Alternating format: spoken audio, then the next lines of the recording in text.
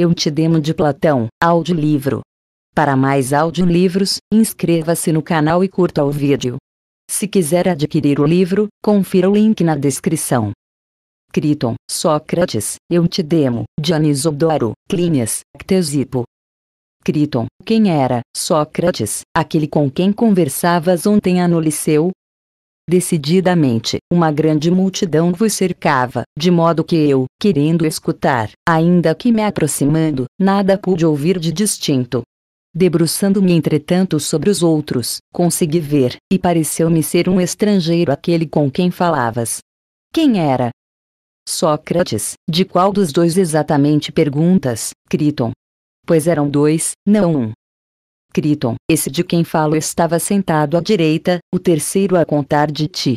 Entre vós, dois estava o menino de Axíoco. Pareceu-me ter se desenvolvido realmente muito, Sócrates, e não diferir muito em idade do nosso Critóbulo. Só que este é franzino, enquanto aquele é bem crescido para sua idade, e de bela e nobre aparência. Sócrates, e eu te demo, Criton, esse de quem perguntas, enquanto que estava sentado à minha esquerda é o irmão dele, Dionisodoro. E também este participa das discussões. Criton, não conheço nenhum dos dois, Sócrates. Alguns novos sofistas também estes, segundo parece. De onde são? E qual é seu saber? Sócrates, quanto à sua origem, como eu creio, eles são de algum lugar daqui, de Cunhos, mas emigraram para Túrio. Estando banidos porém de lá, já há muitos anos moram por estas bandas. Sobre o que perguntas, o saber deles, é uma maravilha, Criton. Os dois são simplesmente sábios em tudo, e eu ignorava até aqui o que fossem os pancratiastas. Pois esses dois são, certamente lutadores de tudo, não como eram os dois acarnanes, os irmãos pancratiastas. Pois, estes só eram capazes de lutar com o corpo, enquanto aqueles são, em primeiro lugar, habilíssimos com o corpo e na luta na qual é possível dominar a todos, pois são sábios consumados em lutar com armas, e capazes de nisso fazer sábio ao outrem, desde que lhes pague um salário. Em seguida, no que concerne a disputa nos tribunais, são ótimos, tanto para sustentar o litígio, quanto para ensinar outrem a falar e a redigir discursos tais que apropriados aos tribunais. De fato, até o presente, eram hábeis só nessas coisas, agora entretanto colocaram o remate na arte do pancrácio, pois, a luta que lhes restava por exercer, essa agora eles realizaram plenamente, de modo que ninguém será capaz de sequer erguer-se contra eles, de tal forma tornaram-se hábeis em lutar com palavras e em refutar completamente o que, a cada vez, é dito, de forma semelhante, se for falso e se for verdadeiro.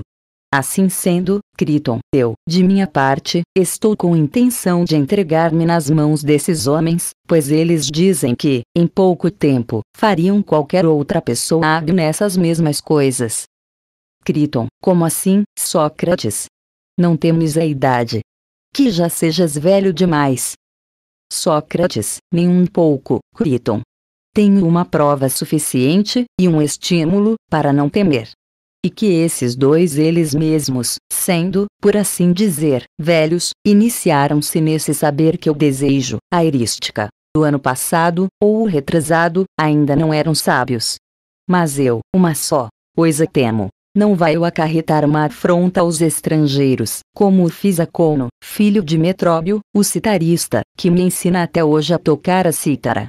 Vendo isso, então, as crianças, meus condiscípulos, morrem de rir de mim, e chamam a Cono professor de velhos.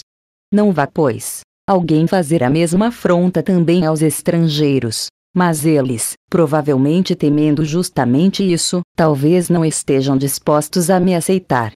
Mas eu, Criton, persuadi outros velhos a frequentar Cono lá, como meus condiscípulos, e tentarei persuadir outros a frequentar estes dois aqui. E tu, por que não os frequentas comigo? Como chamaris para eles, levaremos teus filhos. Pois, cobiçando a estes, sei que também a nós educarão. Criton, mas nada o impede, Sócrates, se bem te parecer. Mas, primeiro, explica-me o que é o saber desses homens, para que eu saiba o que é que vamos aprender. Sócrates inicia a narração das conversações em que tomam parte ele mesmo, Clínias, Ctesipo, Eutidemo e Dionisodoro. Sócrates, não tardarás em ouvir. Pois não poderia dizer que não prestei atenção a eles. Ao contrário, tanto muito prestei atenção, quanto me recordo muito bem, e tentarei contar-te absolutamente tudo, desde o começo.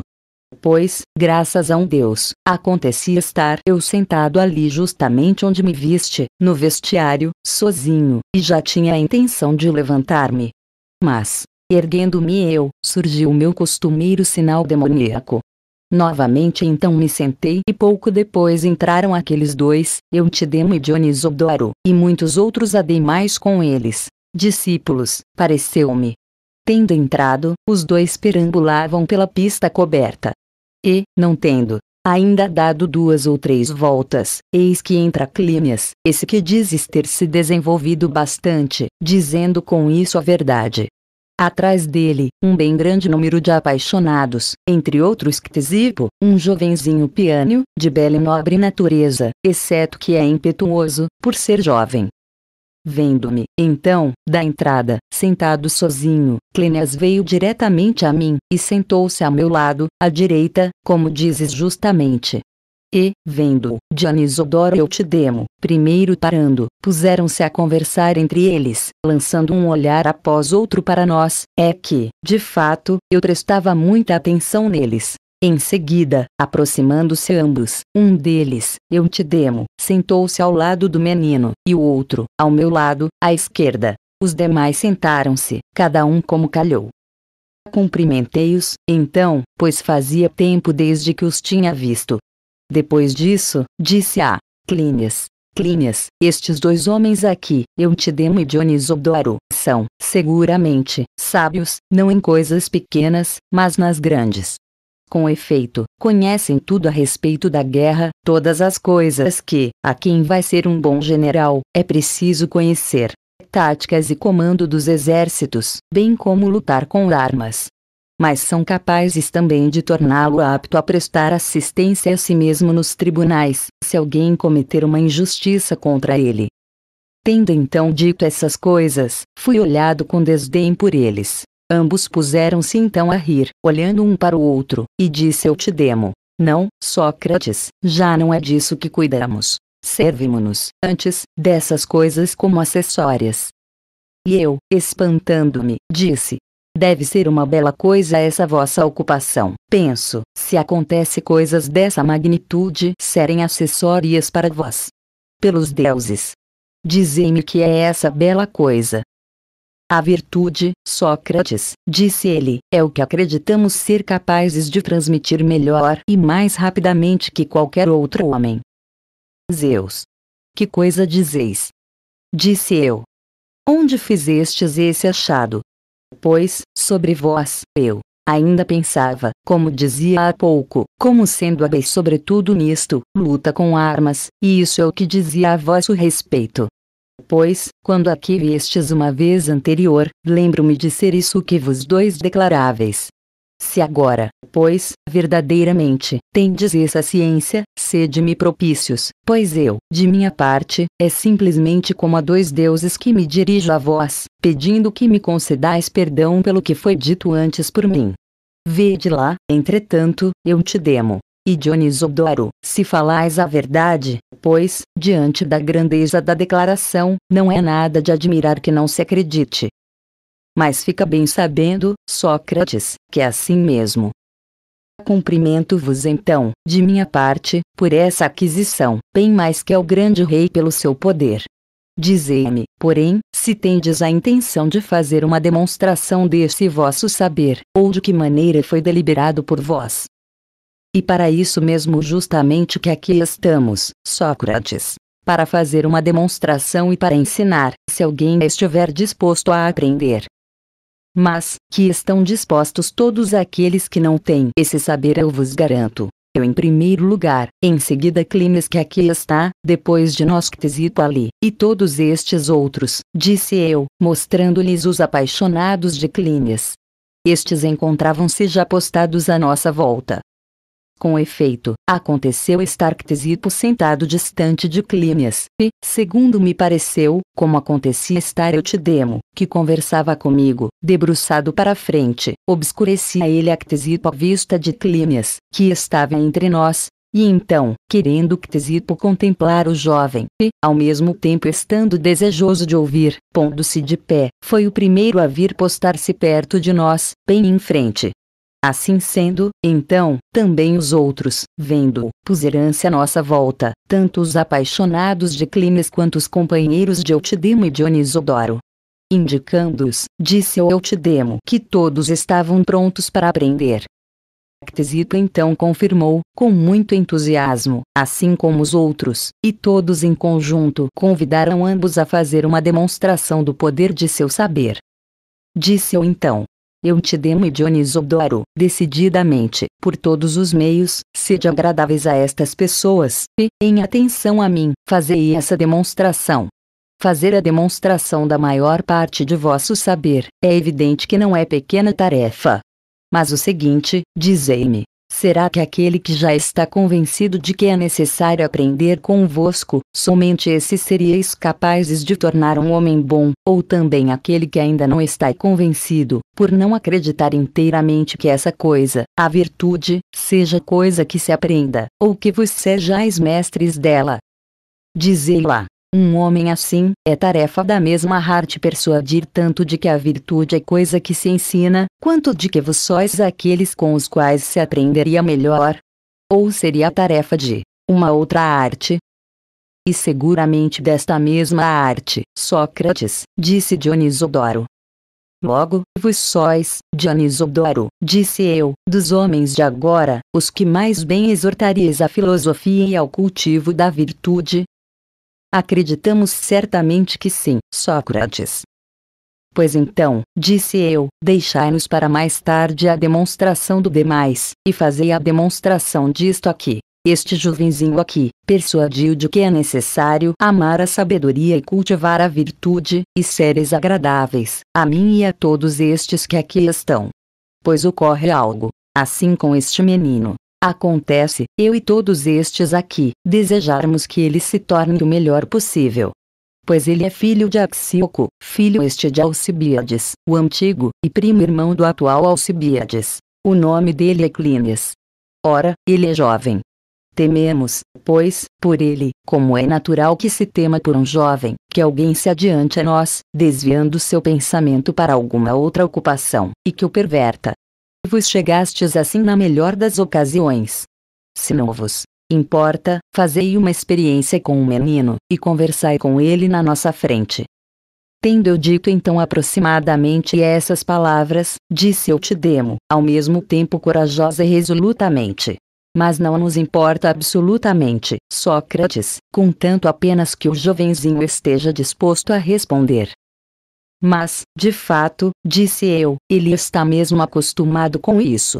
Pois a miúde, estes, que aqui estão aproximam-se dele, fazem-lhe muitas perguntas e conversam com ele, de modo que ele tem, suficientemente, confiança para responder. Quanto ao que veio depois disso, Criton, como te faria um bom relato? Pois não é pouco trabalho ser capaz de, discorrendo, reconstituir um saber tão extraordinário, de modo que eu, de minha parte, tal como os poetas, preciso, ao principiar o relato, invocar as musas e memória. Seja como for, eu te demo principiou mais ou menos deste ponto, segundo creio. Clínias, quem são, dentre os homens, os mantantes, os sopo e os amáteis. E o menino, sendo difícil como era a questão, enrubesceu, e, ficando em aporia, lançou um olhar para mim, e eu, compreendendo que ele estava perturbado, disse: Tem confiança, Clínias, e responde, corajosamente, qual das duas coisas te parece ser o caso? Pois talvez, vê bem, ele esteja prestando a maior ajuda. Nesse momento, Dionisodoro, debruçando-se um pouco ao meu ouvido, e com um largo sorriso no rosto, disse: de fato, Sócrates, te adianto que, de qualquer das duas maneiras que responda o menino, será refutado.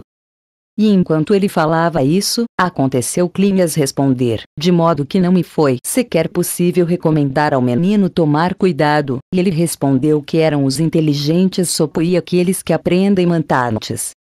E disse eu te demo. Algumas pessoas há quem chamas mestres, ou não. Ele concordou. E os mestres são mestres dos que estão aprendendo mantantes, como o citarista e o mestre de escrita, certamente, foram mestres teus e das outras crianças, e vós, aprendizes, não é? Ele conveio.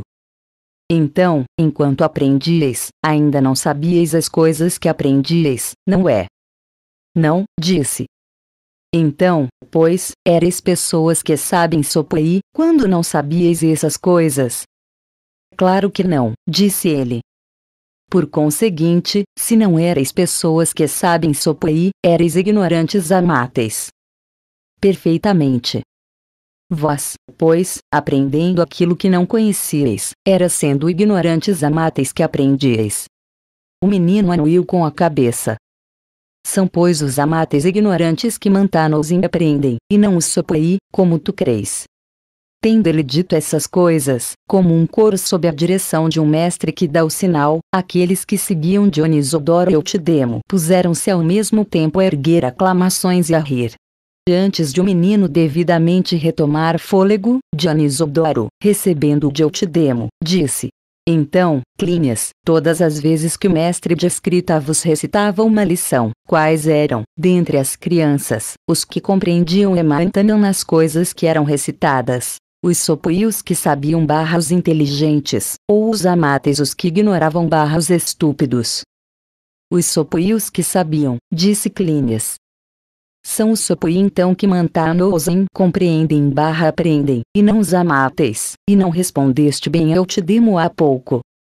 Aí então também puseram-se a rir e aplaudir enormemente os apaixonados dos dois homens, admirando o saber deles.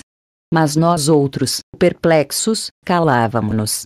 E dando-se conta, eu te demo de que estávamos perplexos, a fim de que ainda mais o admirássemos, não largava o menino, mas interrogava-o, e, como os bons dançarinos, rodopiava suas perguntas duas vezes sobre o mesmo ponto, e disse: os mantanontes os que aprendem barra os que compreendem, pois, mantanos aprendem barra compreendem as coisas que conhecem, ou as que não conhecem, e Dionisodoro, de novo murmurando para mim baixino. Isso também, Sócrates, disse, é outra questão tal como a anterior. Zeus. Disse eu, a questão anterior já nos tinha parecido bela, juro. Todas as questões, Sócrates, afirmou ele, nós fazemos tais quais essas, sem escapatória. Eis aí porque, retorqui eu, pareceis-me gozar de excelente reputação junto a vossos discípulos. Nisso, Clínias respondeu ao Tidimo que os que aprendem mantanontes aprendiam mantanoem as coisas que não conheciam. E este fez-lhe uma pergunta, nos mesmos moldes que anteriormente. E então? Disse ele, não conheces as letras? Sim, respondeu Clínias. Todas elas, não é? Ele concordou. Quando então alguém recita uma coisa qualquer, não são letras que ele recita? Ele concordou.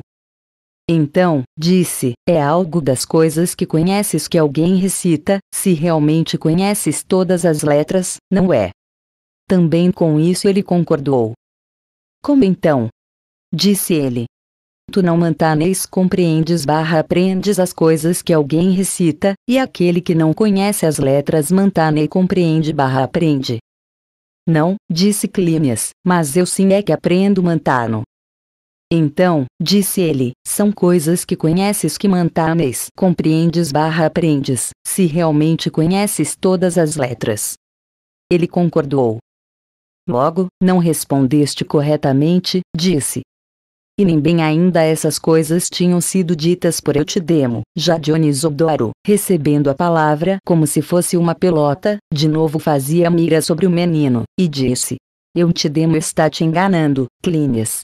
Pois diz-me, aprender mantanem não é adquirir a ciência daquilo que se aprende. Clínias concordou.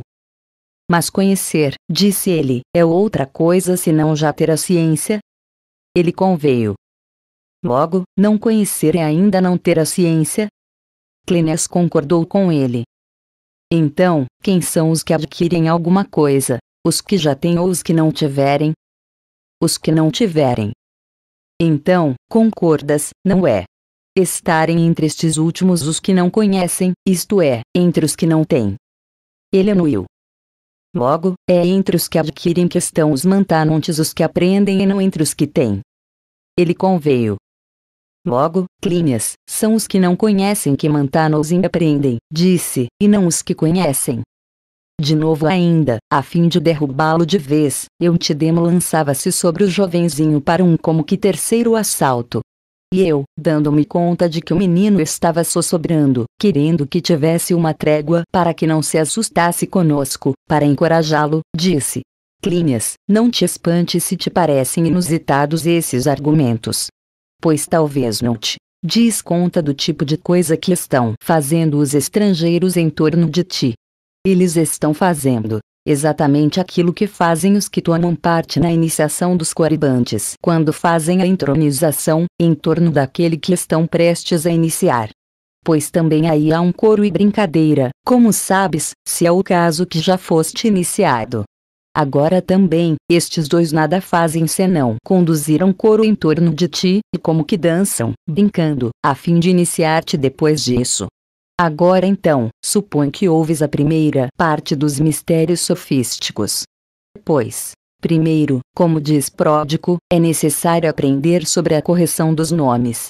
É isso que também estão mostrando para ti os estrangeiros, que não sabias que os homens dão o nome de Mantamen, por um lado, a algo tal qual o seguinte, quando alguém, não tendo a princípio nenhuma ciência sobre certa coisa, em seguida, posteriormente, adquire essa ciência. Por outro lado, dão o mesmo nome também quando alguém, já tendo essa ciência, com essa mesma ciência examina essa mesma coisa, seja ela objeto de ação ou de discurso. De preferência, dão a isso o nome de Sunienan, e não Mantamen, mas há ocasiões em que também empregam o nome Mantanen. A ti, como eles estão mostrando, passa despercebido que a mesma palavra é aplicada a homens em condições opostas, ao que sabe e ao que não sabe. É quase o mesmo que isso que acontece na segunda questão, na qual te perguntaram se os homens mantanosem aprendem barra compreendem o que conhecem ou o que não conhecem. Essas coisas, no entanto, são uma brincadeira dos ensinamentos, e eis aí porque eu digo estarem eles brincando contigo. E, Digo brincadeira pelo seguinte, porque ainda que alguém aprendesse muitas ou mesmo todas as questões desse tipo, ainda assim não saberia nada sobre como as coisas são, mas se tornaria capaz, graças à diversidade de sentido das palavras, de brincar com as pessoas, passando-lhes uma rasteira e fazendo-as cair para trás, como aqueles que, puxando por baixo as banquetas dos que estão para sentar-se, rejubilam-se e riem-se quando os verem caídos para trás sobre o traseiro. Assim sendo, supõe terem sido essas coisas uma brincadeira contigo da parte deles. Mas é claro que, depois disso, são estes dois mesmos que vão mostrar-te as coisas sérias, e eu lhes indicarei o caminho, a fim de que, no que me diz respeito, cumpram o que prometeram. Pois eles afirmaram que fariam uma demonstração do saber protréptico. Mas, de fato, parece-me, eles acreditaram ser preciso primeiro brincar contigo, que esteja terminada vossa brincadeira, eu te demo Dionisodoro, e sem dúvida é suficiente. Mas agora fazei a demonstração sobre o que vem depois disso, e exortando o menino, mostrando-lhe como é preciso cultivar a sabedoria e a virtude. Antes, porém vos mostrarei o como concebo isso e que tipo de exortação desejo ouvir. Caso então vos parecer que o faço como um amador e de maneira ridícula, não zombeis de mim, pois é pelo anseio de ouvir vossa sabedoria que ousarei improvisar diante de vós. Suportai então ouvir-me, sem rir, vos mesmos e vossos discípulos. E tu, filho de Axioco, responde-me. Será que nós todos, homens, queremos ser bem-sucedidos? Ou esta questão é uma das coisas ridículas que ainda agora eu temia? Pois é insensato, sem dúvida, até mesmo perguntar coisas tais. Pois que entre os homens não quer ser bem-sucedido? Não há ninguém que não o queira, disse Clínias. Pois bem, disse eu. Vamos ao que vem depois disso. Uma vez que queremos ser bem-sucedidos, como seríamos? Será que se tivermos bens numerosos? Ou é esta uma questão ainda mais ingênua que aquela? Pois é claro, penso, que também isso é assim. Ele conveio. Vamos lá, pois. Quais afinal, entre as coisas que são, acontecem ser bens para nós? Ou, Parece não ser algo difícil, nem mesmo que requeira um homem muito extraordinário, encontrar a resposta para isso? Qualquer um de nós, com efeito, diria que ser rico é um bem, não é? Perfeitamente, disse ele. E também o ter boa saúde, e o ser belo, e o ser suficientemente provido das outras qualidades concernentes ao corpo, não é verdade? Ele era da mesma opinião, por outro lado, o bom nascimento e os poderes e honrarias em sua própria cidade são evidentemente coisas boas. Ele concordou. Qual dos bens então ainda nos resta? Que afinal ser temperante, ser justo, ser corajoso. Por Zeus, Clínias, cresto que, se pusermos essas coisas como bens, corretamente as poremos, ou se não as pusermos. Pois talvez alguém nos conteste. Mas a ti, o que parece? São bens, disse Clínias. Pois bem, disse eu. Mas a sabedoria, em que lugar do coro a colocaremos? Entre os bens. Ou que coisa tens a dizer? Entre os bens. Reflete, pois. Não vá que deixemos de lado algum dos bens, algum justamente que seja digno de menção. Mas, parece-me, disse Clínias, não termos deixado nenhum. E eu, tendo me lembrado, disse, por Zeus. Corremos o risco de ter deixado de lado o maior dos bens. Qual é esse? Disse ele. A boa fortuna, Clínias, isso que todos, mesmo os mais vis, dizem ser o maior dos bens. Dizes a verdade, afirmou ele. E eu, por outro lado, de novo mudando de ideia, disse: Por pouco não nos tornamos ridículos para esses estrangeiros, eu e tu, o filho de Axíoco. Por que isso? perguntou ele. Porque, tendo posto a boa fortuna entre os bens precedentes ainda agora, eis que de novo falamos da mesma coisa. E por que isso? É ridículo, sem dúvida, aquilo que já está estabelecido há muito tempo, isso de novo propor, e falar duas vezes as mesmas coisas. Que queres dizer com isso? Disse ele. Que a sabedoria, sem dúvida, é a boa fortuna, e disso até mesmo uma criança se daria conta. Ponto e ele espantou-se, tanto é ainda jovem e ingênuo.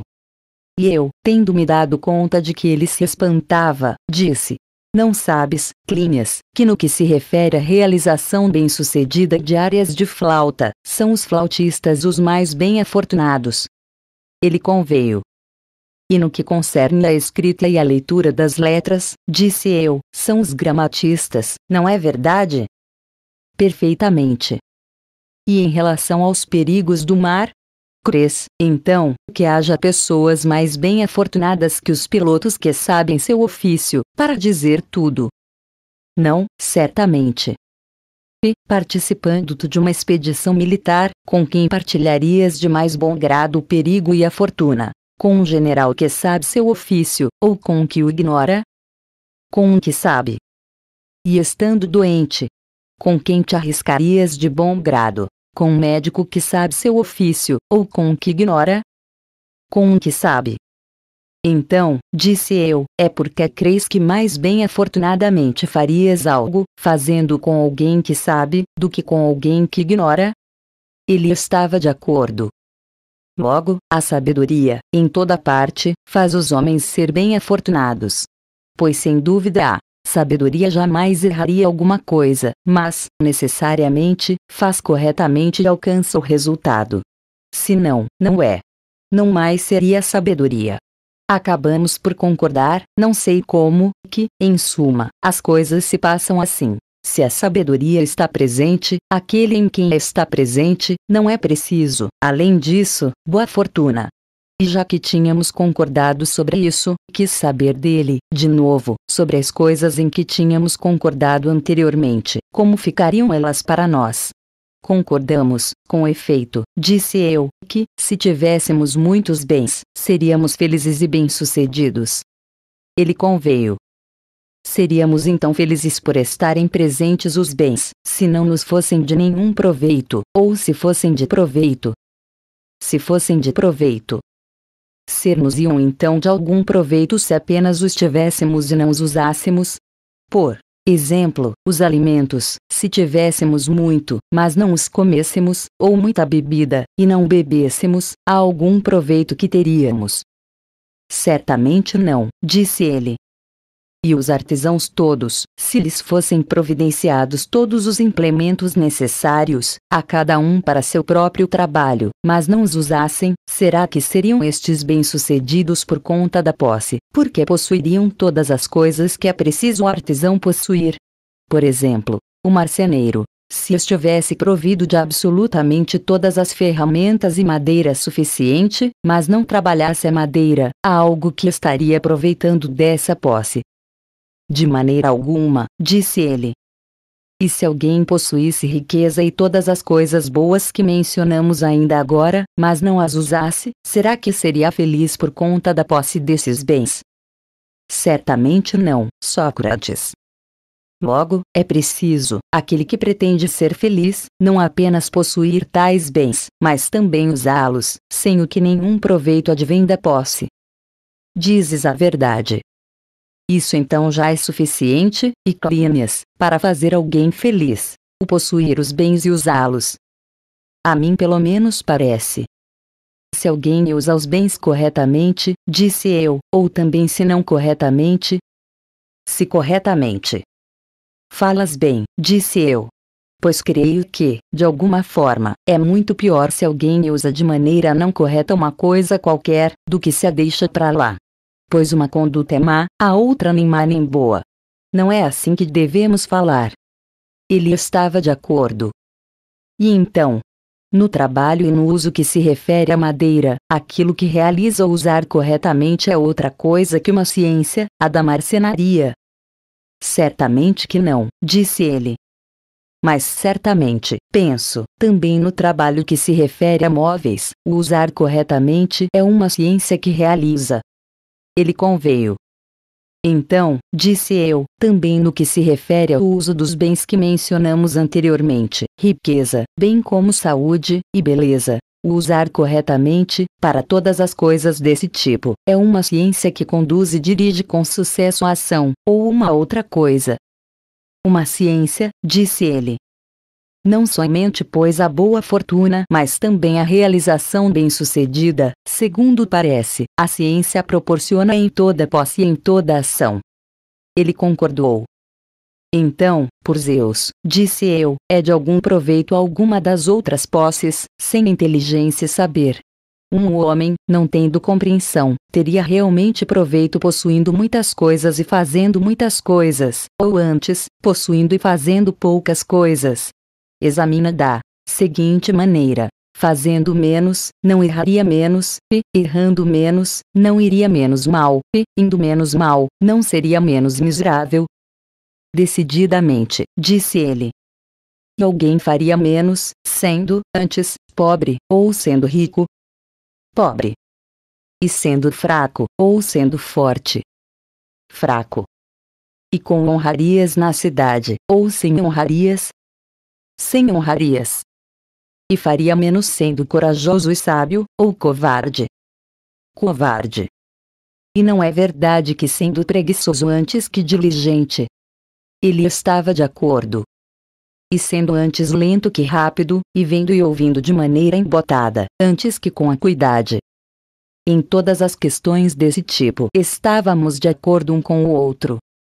Em suma, então, Clínias, disse eu, é de temer que, sobre a totalidade das coisas que anteriormente afirmamos serem bens, a questão não seja a respeito disto, como elas, por natureza, em si e por si mesmas, são bens. Mas, segundo parece, passa-se do seguinte modo: se as dirige a ignorância, são males piores do que seus contrários, tanto mais capazes que são de servir a quem as dirige, que é mal.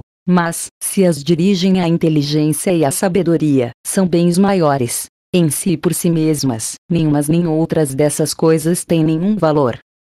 E evidente, disse ele, segundo parece, que é assim como dizes. O que resulta então para nós do que foi dito? Outra coisa senão o seguinte: que das outras coisas nenhuma é boa, nem má, mas estas duas coisas há, das quais uma, a sabedoria, é um bem, e outra, a ignorância, é um mal. Ele concordou. Examinemos então, disse eu, o que ainda resta. Uma vez que todos nós ansiamos por ser felizes, e que ficou manifesto que nos tomamos tais graças ao uso, e ao uso correto, das coisas, e que a ciência que produz a correção e a boa fortuna, é preciso então, segundo parece, que todo homem, sem exceção, tome providências, de todas as maneiras, para que se tome o mais sábio possível. Ou não? Sim, disse ele, se alguém acredita que é isso, sem dúvida, que é preciso receber, muito mais do que riquezas, do pai e também dos tutores amigos, sobretudo dos que se declaram apaixonados, quer sejam estrangeiros ou concidadãos, e se pede súplica-lhes que o deixem participar de seu saber, não é absolutamente desonroso, clínias, nem vergonhoso, com vistas a isso, servir e mesmo escravizar-se a um apaixonado e até a todo e qualquer homem, dispondo-se a prestar qualquer um de serviços honrados, na ânsia de tomar-se sábio. Não te parece assim? Perguntei eu. Decididamente, pareces-me falar bem, disse ele. Se é, Clínias, que a sabedoria é coisa que se ensina, e que não vem aos homens por obra do acaso. Pois isso para nós é ainda uma questão sem exame, e ainda não foi objeto de acordo entre mim e ti. Mas a mim pelo menos, Sócrates, disse ele, parece que é coisa que se ensina. E eu, deleitado, disse: Falas bonito, decididamente, o melhor dentre os homens, e fizeste bem em afastar-me de muita pesquisa sobre este ponto preciso, se a sabedoria é ou não coisa ensinável. Agora, pois, uma vez que a te parece tanto que é algo ensinável, quanto que é a única das coisas que faz o homem ser feliz e bem-sucedido, dirias outra coisa senão que é necessário cultivar a sabedoria que tu mesmo tens a intenção de fazê-lo, Decididamente, Sócrates, disse ele, o mais possível. E eu, tendo ouvido isso com prazer, disse: Tal é, Dionisodoro eu te demo, o meu paradigma dos discursos protrépticos, tais como desejo que sejam. Discurso amador talvez, expresso com dificuldade e prolixamente. Mas aquele, de vos dois que queira, que nos faça, fazendo com arte, sobre o mesmo assunto, uma demonstração, se não o quiserdes, retomando a partir de onde deixei, fazei para o menino a demonstração sobre o que segue. Se é preciso ele adquirir todas as ciências, ou se há uma única que é preciso alcançar para ser feliz e ser um homem bom, e qual é ela? Como disse ao começar, acontece ser-nos de muita importância este jovenzinho tornar-se sábio e bom. Assim, pois, foram essas as coisas que eu disse, Criton. Ao que seria depois disso prestava uma enorme atenção, observava de que maneira afinal se engajariam na discussão, e a partir de que ponto começariam a encorajar o jovenzinho a praticar a sabedoria e a virtude. Então, o mais velho deles, Dionisodoro, foi o primeiro que iniciou a discussão, e nós todos olhávamos para ele como quem vai ouvir logo logo algumas palavras admiráveis. O que, precisamente, de fato, nos aconteceu. Com efeito, foi algo admirável, Criton, o discurso a que o homem deu início, o qual vale a pena para te escutar, tão encorajador o discurso era para a virtude. Diz-me, Sócrates e vós outros, disse ele, todos quantos dizeis desejar que esse jovenzinho se torne sábio. Estais brincando ao dizer isso, ou verdadeiramente o desejais e levais a sério? E eu refleti que eles acreditavam, pelo visto, que nós antes estávamos brincando, quando lhe suplicávamos que conversasse com o jovenzinho, e por isso eles trouxeram e não levaram a sério. Tendo então feito essa reflexão, disse ainda mais enfaticamente que levávamos prodigiosamente a sério. E disse Dionisodoro: Examina bem, Sócrates, para que não venhas a negar o que agora estás dizendo. Já examinei, respondi. E não. Acho que não negarei jamais. E então? Disse ele. dizeis querer que ele se torne sábio? Perfeitamente. Mas agora, disse ele, Clenes é sábio, ou não? Certamente não ainda, é o que diz ele, pelo menos. Mas ele não é de se gabar, disse eu. Mas vós, disse ele, quereis que ele se torne sábio e que não seja ignorante. Concordamos. Então, não é. Quem não é quereis que venha a ser, e quem agora é, que não seja mais. E eu, ouvindo isso, tremi. Estando ainda eu a tremer, disse ele, retomando a palavra. Então, já que quem agora é quereis que não mais seja, quereis outra coisa, segundo parece, senão que ele pereça, e realmente seriam de muito valor tais amigos e apaixonados, a quem importa sobretudo aniquilar seu favorito. Ictesipo, ouvindo isso, irritou-se por conta de seu favorito, e disse: O estrangeiro de Túrio, se não fosse demasiado rude dizer, eu diria, que caía sobre tua cabeça. Que estás pensando, que acusas a mim e aos outros de uma coisa tal que eu creio sacrílego até mesmo pronunciar, que eu quereria que este que aqui está fosse aniquilado? Como então, Ctesipo? Disse eu te demo. Parece-te ser possível falar falso? Sim, por Zeus. Disse ele, se não estou louco, pelo menos. Dizendo a coisa sobre a qual é a fala, ou não a dizendo. Dizendo, disse ele. Então, não é. Se realmente quem fala diz isso, não diz outra coisa, entre as coisas que são, senão essa precisamente que ele diz. Como poderia dizer outra coisa? Perguntou Ctesipo. Mas aquilo que ele diz é uma das coisas que são separadas das outras. Perfeitamente. Então, quem diz aquela coisa que é, dila, não é? Indagou ele. Sim. Entretanto, quem diz uma coisa que é coisas que são diz a verdade. De modo que, Dionisodoro, se realmente diz coisas que são, diz a verdade, e de maneira alguma diz uma falsidade contra ti. Sim, disse Ctesipo, mas quem diz essas coisas que estás dizendo, eu te demo, não diz coisas que são. E disse eu te demo. Mas as coisas que não são, é outro ou caso senão que não são. Não são, e as coisas que não são, não são coisas que não são em lugar nenhum. Em lugar nenhum. No que se refere a elas, então, as coisas que não são, a como se possa agir de alguma forma, de modo que quem quer que seja possa fazer aquelas coisas que não estão em lugar nenhum. A mim, pelo menos, não parece, disse Ctesipo. E então, os oradores, quando falam na Assembleia do Povo, não agem de alguma maneira, Certamente que agem, disse ele. Então, se realmente agem, também fazem algo, não é? Sim. Falar é pois agir, e também fazer algo? Ele concordou. Logo, ninguém diz coisas que não são, pois já estaria fazendo algo. Tu, porém, concordaste que não é possível a ninguém fazer o que não é, de modo que, segundo o que dizes, ninguém fala falso, e se realmente Dionisodoro fala, diz a verdade e coisas que são. Sim, por Zeus. Eu te demo, disse Ctesipo. Só que ele diz coisas que são de uma certa maneira, mas não tais como são. Que queres dizer, Ctesipo? Disse Dionisodoro. Há pois pessoas que dizem as coisas tais como são? Ah, certamente, disse ele, os nobres e bons, e os que dizem a verdade. E então? As coisas boas não são um bem, as coisas más, um mal. Ele estava de acordo. Concordas que os nobres e bons dizem as coisas tais como são?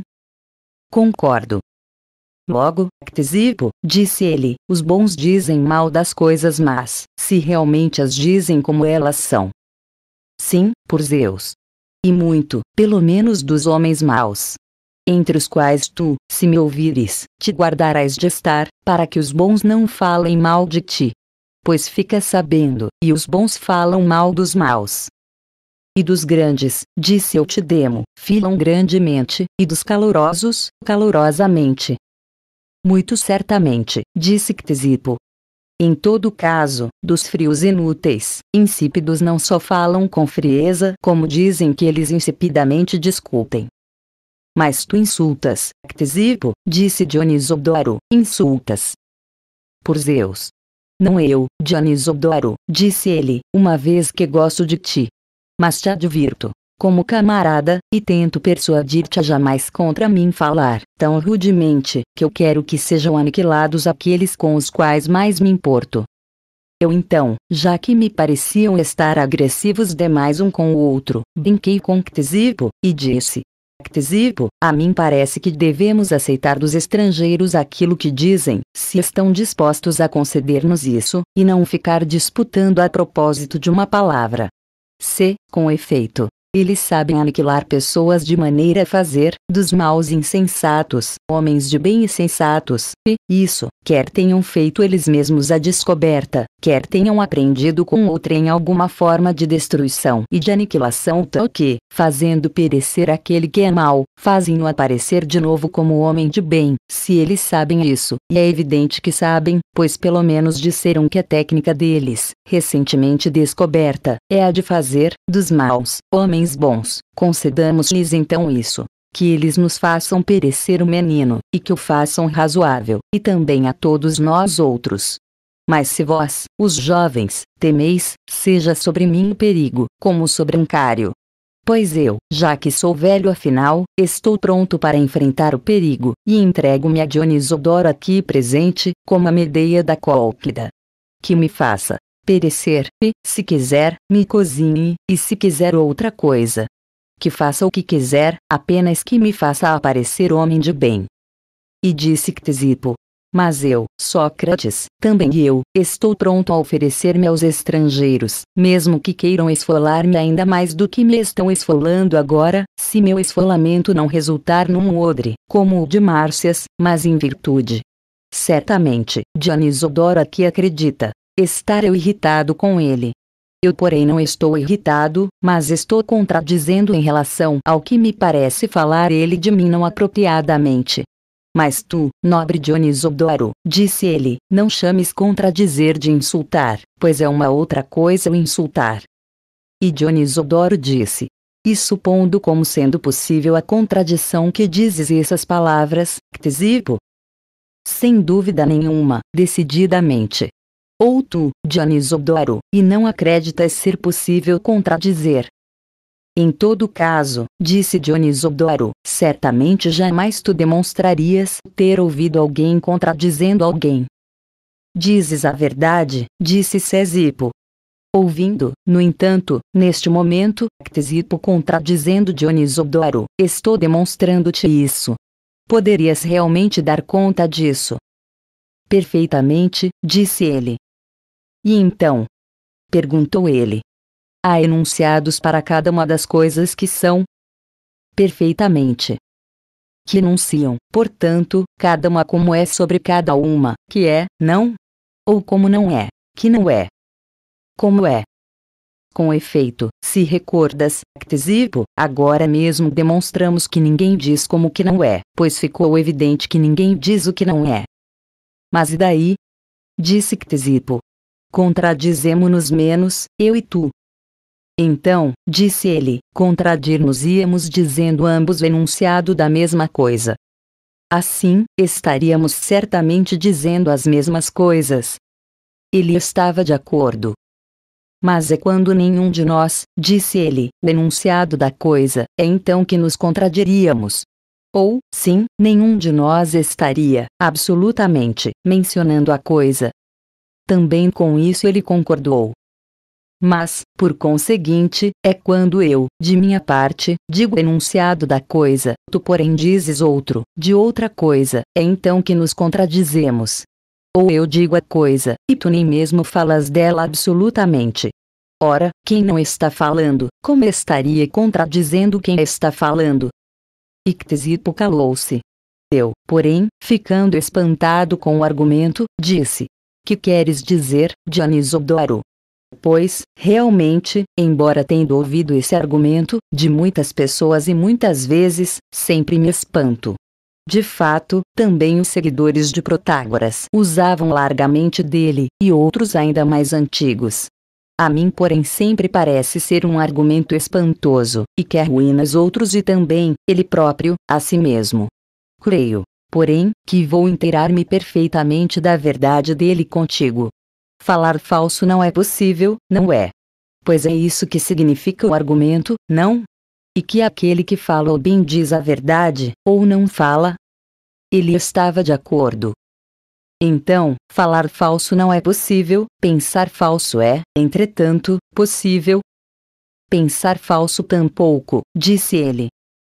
Logo, disse eu, tampouco existe opinião falsa, absolutamente. Não, disse ele. Logo, tampouco ignorância, nem homens ignorantes. Ou ignorância, se realmente existisse, não seria enganar-se sobre as coisas, Perfeitamente, disse ele. Mas isso não é possível, disse eu. Não, concordou ele. É por dizer, Sodoro, que dizes o que dizes, para dizer algo desconcertante, ou verdadeiramente te parece não haver nenhum ignorante entre os homens? Mas refuta tu, disse ele. E será isso, refutar, possível, segundo tua tese, se ninguém se engana? Não é possível. Tampouco então, disse eu, agora mesmo Dionisodoro estava convidando a refutar. Como alguém poderia convidar para o que não é? Tu convidas. É que, eu te demo, disse eu, no que concerne a esses argumentos sábios e bem elaborados, há algo que não compreendo muito bem. Mas, claro, percebo as coisas de maneira um tanto espessa. Assim sendo, vou perguntar algo talvez grosseiro, mas desculpa, Ora vê. C. Pois não é possível enganar-se nem pensar falso, nem ser ignorante, não é o caso que tampouco é possível errar quando se faz alguma coisa. Pois aquele que faz alguma coisa não é possível falhar naquilo que faz.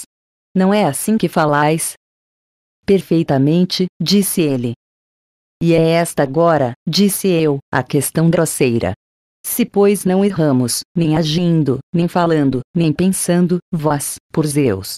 Se assim viestes para cá como professores de quê? Ou, não é verdade que afirmastes ainda agora que a virtude, melhor que qualquer outro dos homens, poderíeis transmitir a quem estivesse disposto a aprender?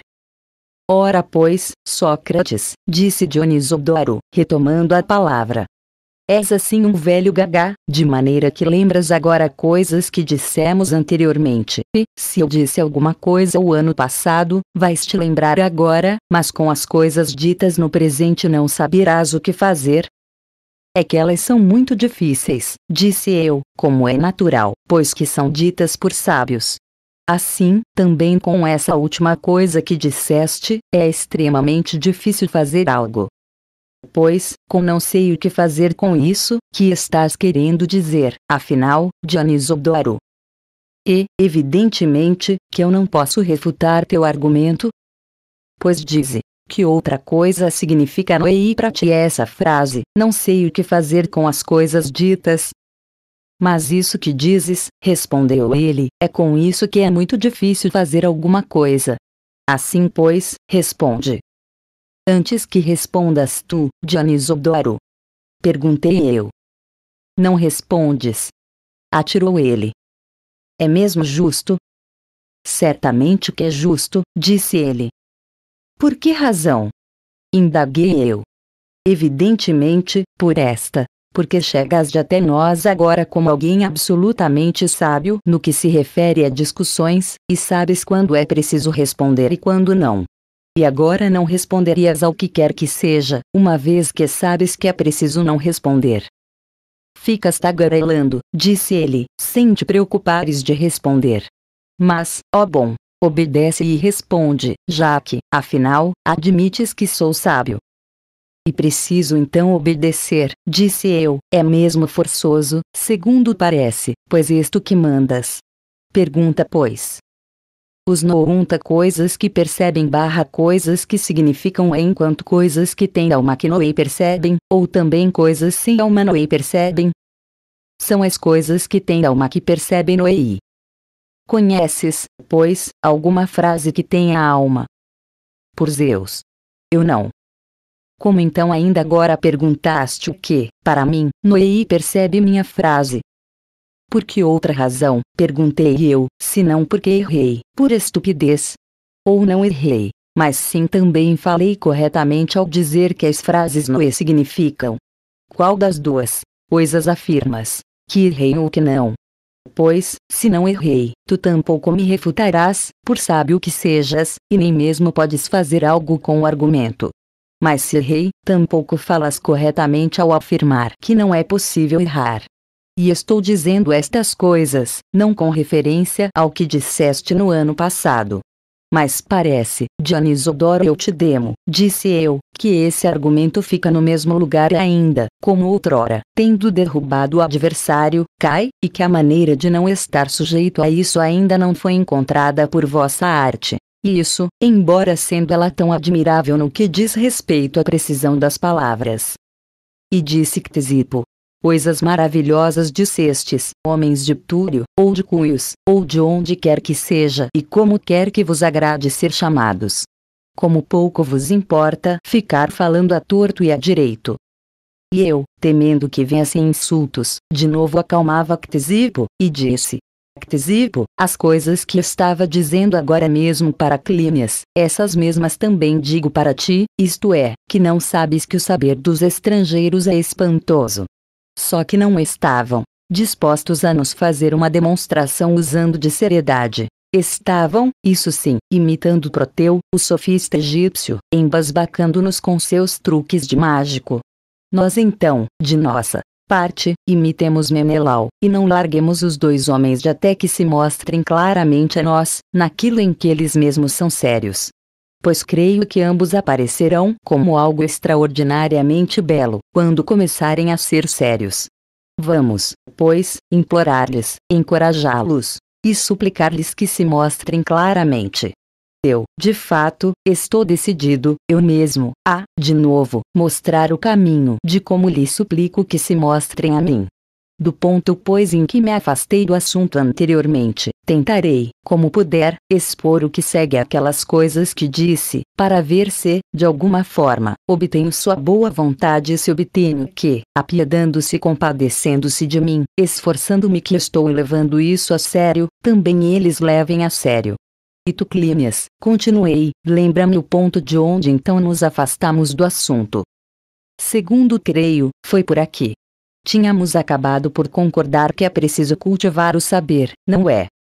Sim, disse ele. E que o cultivo do saber é a aquisição de uma ciência, não é assim? Sim, respondeu ele. Adquirindo, pois, que ciência, afinal, estaríamos fazendo corretamente essa aquisição. Não se passa simplesmente isto, que é a ciência que nos dará proveito. Perfeitamente. Então ser-nos-ia de algum proveito se, perambulando por toda parte soubéssemos reconhecer onde na terra está enterrada a maior quantidade de ouro. Talvez, disse ele. Mas antes, provamos cabalmente que de nada adiantaria se, até mesmo sem trabalho e sem cavar a terra, todo o ouro do mundo se tornasse nosso de modo que, nem que tivéssemos a ciência de fazer, das pedras, pedras de ouro, tal ciência não seria de nenhum valor. Se, com efeito, não tivermos também uma ciência de como usar o ouro, ele pareceu ser de nenhum proveito. Ou não te recordas? Perfeitamente, disse ele, recordo-me. Tampouco, segundo parece, nenhuma outra ciência seria de proveito, nem a das finanças, nem a medicina, nem nenhuma outra que sabe produzir alguma coisa, mas não sabe usar o que produzir. Não é assim? Ele conveio. Nem mesmo se houver alguma ciência que faça os homens imortais, sem saber usar a imortalidade, nem essa, parece ser de algum proveito, se é preciso conjecturar a partir do que foi acordado precedentemente, Éramos da mesma opinião em todas essas coisas. Logo, é-nos preciso uma ciência tal, ó bela criança, disse eu, que nela coincidam, ao mesmo tempo, o produzir o saber usar aquilo que ela produza. Parece, disse ele. Logo, longe está, segundo parece, ser preciso nós sermos produtores de lira e detentores de uma tal ciência. Pois aí precisamente se distinguem, de um lado, a arte que produz, de outro, a que usa, embora ambas sejam a respeito da mesma coisa. Pois a arte de produzir e a de tocar cítara diferem bastante uma da outra. Não é assim? Ele conveio, que tampouco, certamente, é da arte de produzir flautas que precisamos é evidente. Pois, afinal, esta é tal qual a outra. Era também sua opinião. Mas, pelos deuses, disse eu, se aprendêssemos a arte de produzir discursos, será que é esta que seria preciso adquirir para nós sermos felizes? Quanto a mim, não creio, disse Clínias, tomando a palavra. De que indício te serves? Perguntei eu. Vejo, disse ele, alguns produtores de discursos que não sabem usar os seus próprios discursos, os que eles próprios produzem, tal como os que produzem liras não sabem usar as liras. Ao invés, também aqui, outros são os capazes de usar o que os primeiros produziram, os capazes de produzir discursos, sendo eles mesmos incapazes de usá-los. É evidente então que, também no que se refere aos discursos, é distinta a arte de produzir e a de usar. Parece-me, disse eu, que mencionas um indício suficiente de que a arte dos produtores de discursos não é aquela que alguém, adquirindo, seria feliz. Entretanto, eu acreditava que mais ou menos por aí apareceria a ciência que precisamente aí muito procuramos e que a mim, aqueles homens, os produtores de discursos, quando me encontro com eles, parecem-me sumamente sábios, clínias, e essa arte deles, uma arte divina e sublime. E aliás, não é nada espantoso. Ela é, com efeito, uma parte da arte das encantações e em pouco inferior a ela, pois a arte das encantações é um encantamento de víboras, tarântulas, escorpiões e outros bichos, e também de doenças, enquanto a outra é de juízes, membros da Assembleia e de outras multidões que acontece ser encantamento e persuasão. E a ti, parece ser de outra forma. Não, parece-me ser assim como dizes. Para onde então, inquiri eu, nos voltaríamos ainda? Para que arte, eu, de minha parte, não encontro a saída, disse ele. Pois eu, respondi, creio ter encontrado. Qual? perguntou Clínias. A arte do general, mais que qualquer outra, me parece ser uma arte que, adquirindo, alguém seria feliz. A mim não me parece. Como assim? Indaguei eu. É que é uma arte de caça aos homens, essa. E daí, Nenhuma espécie da arte da caça propriamente dita, disse ele, vai além de caçar e capturar. Depois que capturarem aquilo que tiverem caçado, essas artes não são capazes de fazer uso disso. Ao invés, caçadores e pescadores, por um lado, entregam aos cozinheiros o que tiverem caçado, enquanto, por outro lado, os geômetras, os astrônomos e os calculadores, com efeito, são caçadores estes também, pois não produzem, cada um deles, as figuras, mas descobrem as que são, não sabendo, eles mesmos, usá-las, como é o caso, mas apenas dar-lhes caça, entregam, presumivelmente, aos dialéticos suas descobertas, para que façam uso delas, pelo menos aqueles dentre eles que não são completamente insensatos. Ora pois, belíssimo e sapientíssimo Clínias, disse eu, isso passa-se assim? Perfeitamente. Também com os generais passa-se assim, da mesma maneira. Quando tiverem capturado alguma cidade ou exército, entregam-nos aos políticos, pois eles mesmos não sabem fazer uso disso que capturaram. Da mesma forma, creio que os caçadores de codornizes as entregam aos criadores de codornizes. Se, pois, precisamos daquela arte que, daquilo que ela adquirir, quer reduzindo, quer caçando, ela própria saiba fazer uso, e se é tal que nos fará felizes, uma outra é preciso procurar em vez da arte do general. Criton, que queres dizer, Sócrates? Aquele menino pronunciou tais coisas. Sócrates, não crês, Criton? Criton, por Zeus, não, certamente, pois creio eu que ele, se disse essas coisas, não tem necessidade nem de Eutidemo nem de mais nenhuma outra pessoa para sua educação. Sócrates, mas então, por Zeus. Será que foi Ctesipo que disse essas coisas e eu não me lembro? Criton, Ctesipo? Qual? Sócrates, mas, certamente, pelo menos o seguinte eu bem sei, que nem Eutidemo nem Dionisodoro foi quem disse essas coisas. Mas, ó divino Criton, será que algum dos seres superiores, lá estando presente, as pronunciou? Pois que eu ouvi essas coisas, bem sei. Criton, sim, por Zeus. Sócrates. Seguramente um de seres superiores, e muito, parece-me. Mas, depois disso, ainda procurastes alguma arte? E encontrastes ou não encontrastes aquela em vista da qual fazias a pesquisa? Sócrates, encontramos onde, ó bem-aventurado? Éramos, antes, absolutamente ridículos como as crianças a perseguir calhandras, acreditávamos, o tempo todo, agarrar, de repente, cada uma das ciências, mas elas sempre escapavam. Assim sendo, por que te contaria por extenso, chegando porém à arte real, e examinando-a cabalmente para ver se esta seria que traz e realiza a felicidade. Aí, como que caindo num labirinto, quando acreditávamos já estar no fim, ficou evidente que, tendo retornado sobre nossos passos, estávamos, de novo, como que no início da pesquisa, e carentes igualmente de quanto carecíamos quando pesquisávamos no começo. Criton, como vos aconteceu isso, Sócrates? Sócrates, eu vou explicar. Pois bem, tinha-nos parecido serem a mesma, a arte política e a arte real. Criton, e então? Sócrates, é a essa arte que tanto a arte do general como as outras entregam, para ela dirigir, as obras de que elas mesmas são produtoras, como a única que sabe usá-las. Claramente, então nos parecia ser essa arte que procurávamos, e a causa do corretamente exercer o comando na cidade. Em suma, como no verso iâmbico de Ésquilo, a única estar estabelecida na proa da cidade, tudo dirigindo e tudo governando, de modo a fazê-las todas úteis.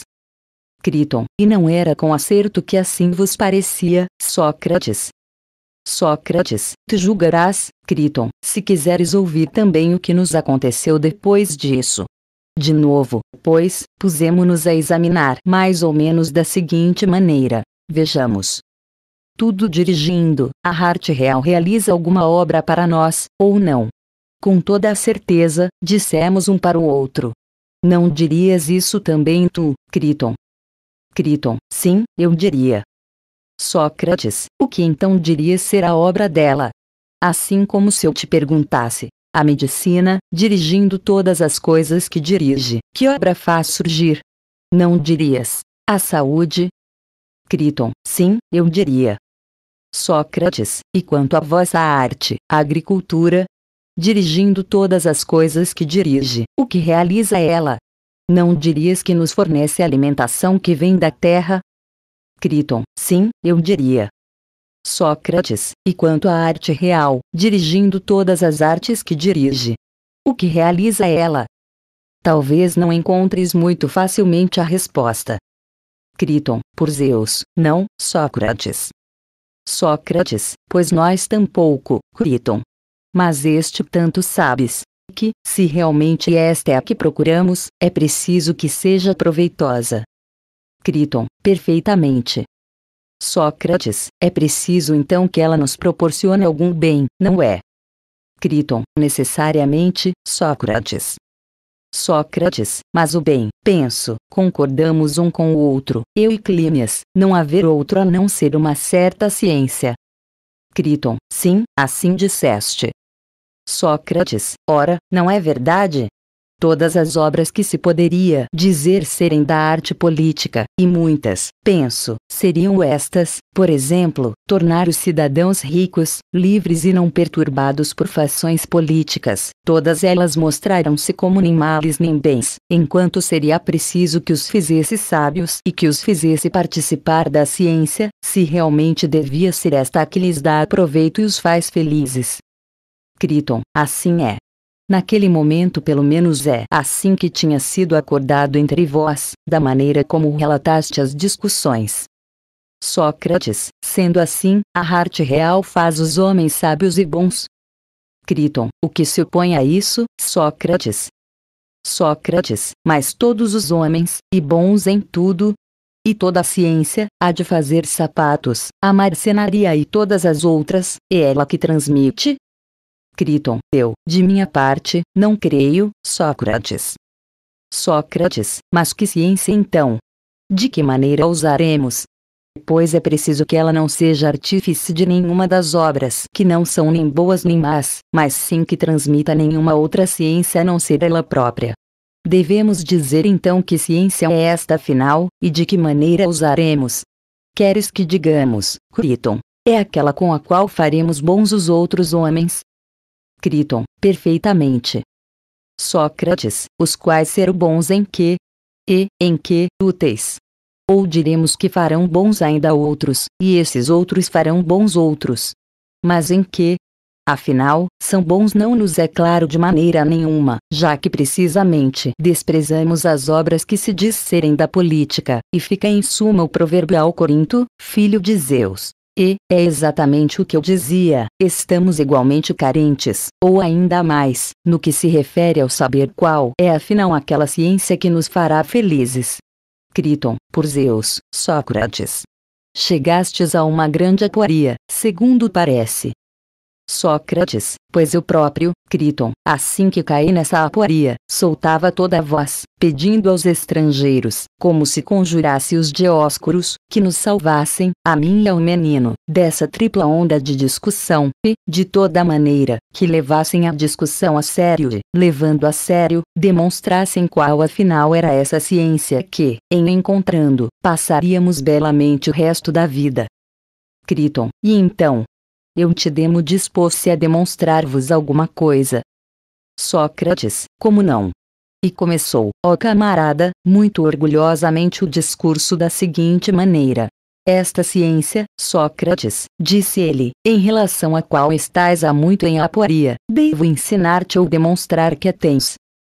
Ó bem-aventurado, disse eu, mas isso está em teu poder. Perfeitamente.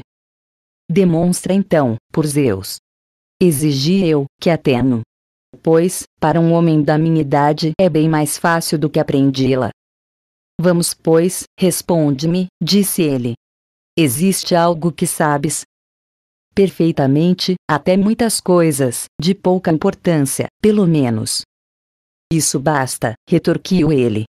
Parece-te então ser possível, alguma entre as coisas que são, aquilo que ela acontece ser, isso mesmo não ser, por Zeus, não. A mim não parece. Então, disse ele, sabes alguma coisa, não é? Sim, sei. Então, és alguém que sabe, se realmente sabes, não é? Perfeitamente, pelo menos em relação a isso precisamente que sei. Não importa. Mas a necessidade não te constrange a saber tudo, sendo tu alguém que sabe? Por Zeus, não. Respondi eu, uma vez que muitas outras coisas não sei. Então, se alguma coisa não sabes, és alguém que não sabe. Em relação àquilo que não sei, amigo. És por isso menos alguém que não sabe? Ainda agora afirmaste ser alguém que sabe. E, assim, acontece seres aquele mesmo que és, e, por outro lado, inversamente, não és, ao mesmo tempo, relativamente as mesmas coisas, Pois seja, eu te demo. Disse eu. Como se costuma dizer, belas novas nos trazes. Como então conheço a ciência que procurávamos? Ah! Claro! Como é impossível a mesma coisa ser e não ser, se realmente sei uma coisa, sei absolutamente todas, pois não poderia ser alguém que sabe alguém que não sabe ao mesmo tempo, e, já que sei todas as coisas, também essa tal ciência tenho, e isso que afirmas, e é essa coisa sábia que ensinas? És tu mesmo, pois que te refutas, Sócrates, disse ele. E tu, eu te demo, não sofreste a mesma desdita? Pois eu, em verdade, com o que quer que sofra juntamente contigo e com Dionisodoro que aqui está, este caro companheiro, não me agastaria muito.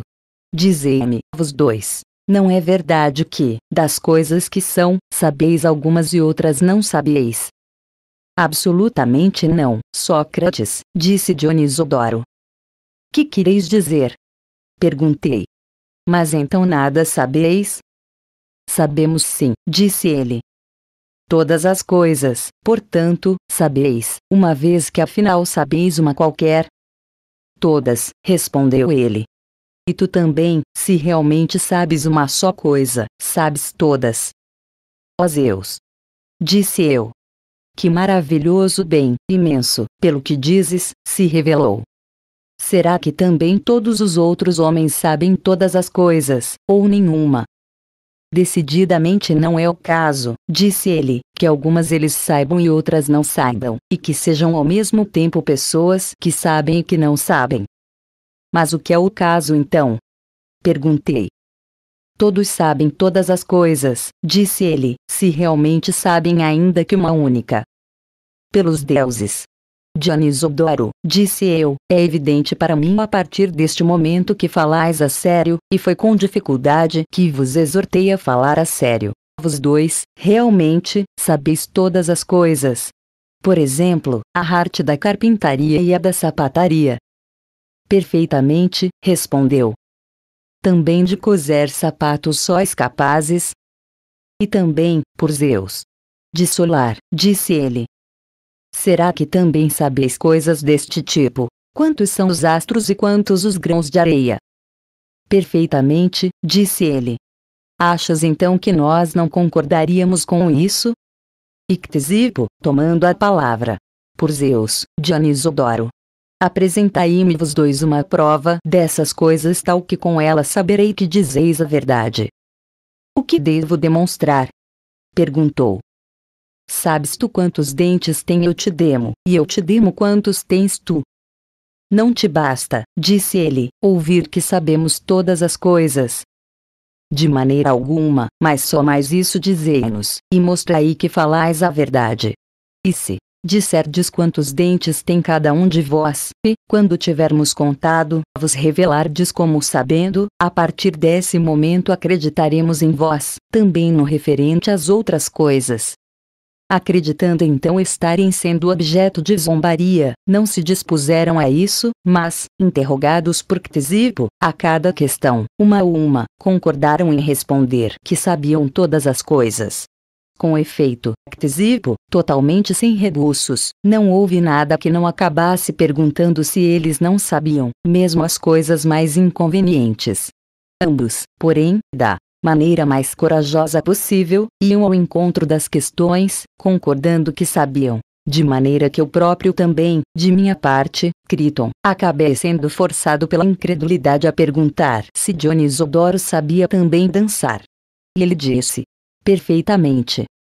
Mas, disse eu, não com certeza saltar de cabeça por cima das facas, e girar sobre uma roda, na tua idade? Não estás a um ponto tão avançado no saber, não há nada que não saiba, respondeu ele. Mas, insisti eu, é só agora que sabeis todas as coisas, ou também as soubestes sempre? Também sempre. Também quando erais crianças, e assim que nascestes, sabias todas as coisas. Ambos disseram que sim, ao mesmo tempo. A nós, realmente, a coisa parecia ser inacreditável. Mas disse eu te demo, não acreditas, Sócrates? E, exceto que eu creio que é provável que vos sejais sábios. Mas, disse ele, se consentires em responder-me, eu mostrarei também tu concordando com essas coisas admiráveis. Mas seguramente, disse eu, com maior prazer serei convencido disso. Se, com Efeito, passa-me despercebido que sou sábio, mas tu me mostrares que sei todas as coisas, e desde sempre, com que maior achado que esse poderia deparar em toda a minha vida? Responde, pois, pediu ele. Pergunta, que responderei. Então, Sócrates, és alguém que sabe alguma coisa, ou não? Sim, sou. Aquilo por meio do que és alguém que sabe, é por meio disso também que sabes, ou é por meio de outra coisa?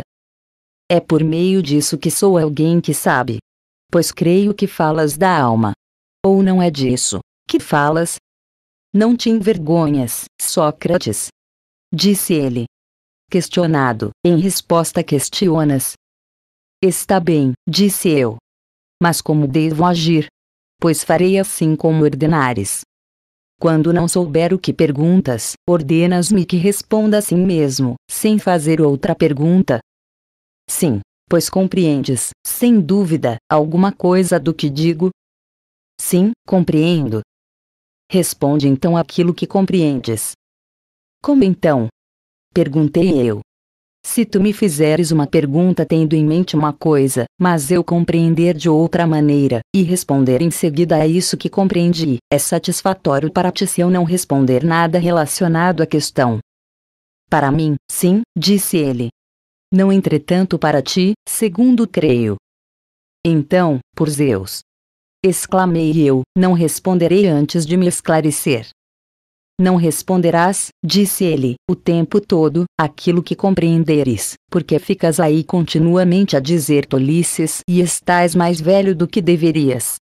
E eu me dei conta de que ele estava irritado comigo, que fazia distinções nas coisas que ele dizia, quando ele queria, dispondo palavras ao meu redor como armadilhas, dar-me caça. Lembrei-me então de Kono, que esse também se irrita comigo a cada vez que eu não atendo a ele, e, em seguida, ocupa-se menos de mim, por ser eu estúpido, pensa. Uma vez, pois que era minha intenção também a ele frequentar, acreditei que deveria atendê-lo, de medo que, julgando-me ele desajeitado, não me aceitasse como discípulo. Disse então: Mas, eu te demo, se bem te parece fazer assim, assim deve fazer-se pois tu, penso, em todo caso, sabes discutir melhor que eu, que tenho a esse respeito a habilidade de um homem comum. Pergunta então outra vez, desde o começo. Responde então de novo, disse ele, se sabes as coisas que sabes por meio de algo, ou não. Sim, disse eu, por meio da alma. Ei-no outra vez que responde para além das coisas que são perguntadas. Pois eu não. Pergunto por meio de que conheces, mas se conheces por meio de algo. De novo, disse eu, respondi mais do que é devido por falta de instrução. Desculpa-me. Responderei, pois, agora, simplesmente, que é por meio de algo que sei as coisas que sei. Por meio dessa mesma coisa sempre, disse ele, ou há ocasiões em que por meio disso e ocasiões em que por meio de outra coisa, Sempre, quando sei, é por meio disso. De novo, não vais parar de fazer discursos paralelos? Mas é para que esse sempre aí não nos faça, de alguma forma, tropeçar. Não a nós, em todo caso, a ti, se tanto. Mas responde, é sempre por meio disso que sabes? Sempre, disse eu, já que é preciso tirar o quando. Então, sempre por meio disso sabes, não é? Mas sempre sabendo, sabes algumas coisas por meio disso, outras coisas por meio de outra coisa, ou bem todas as coisas por meio disso. É por meio disso, respondi, que sei absolutamente todas as coisas, pelo menos as que sei, ei-no aí.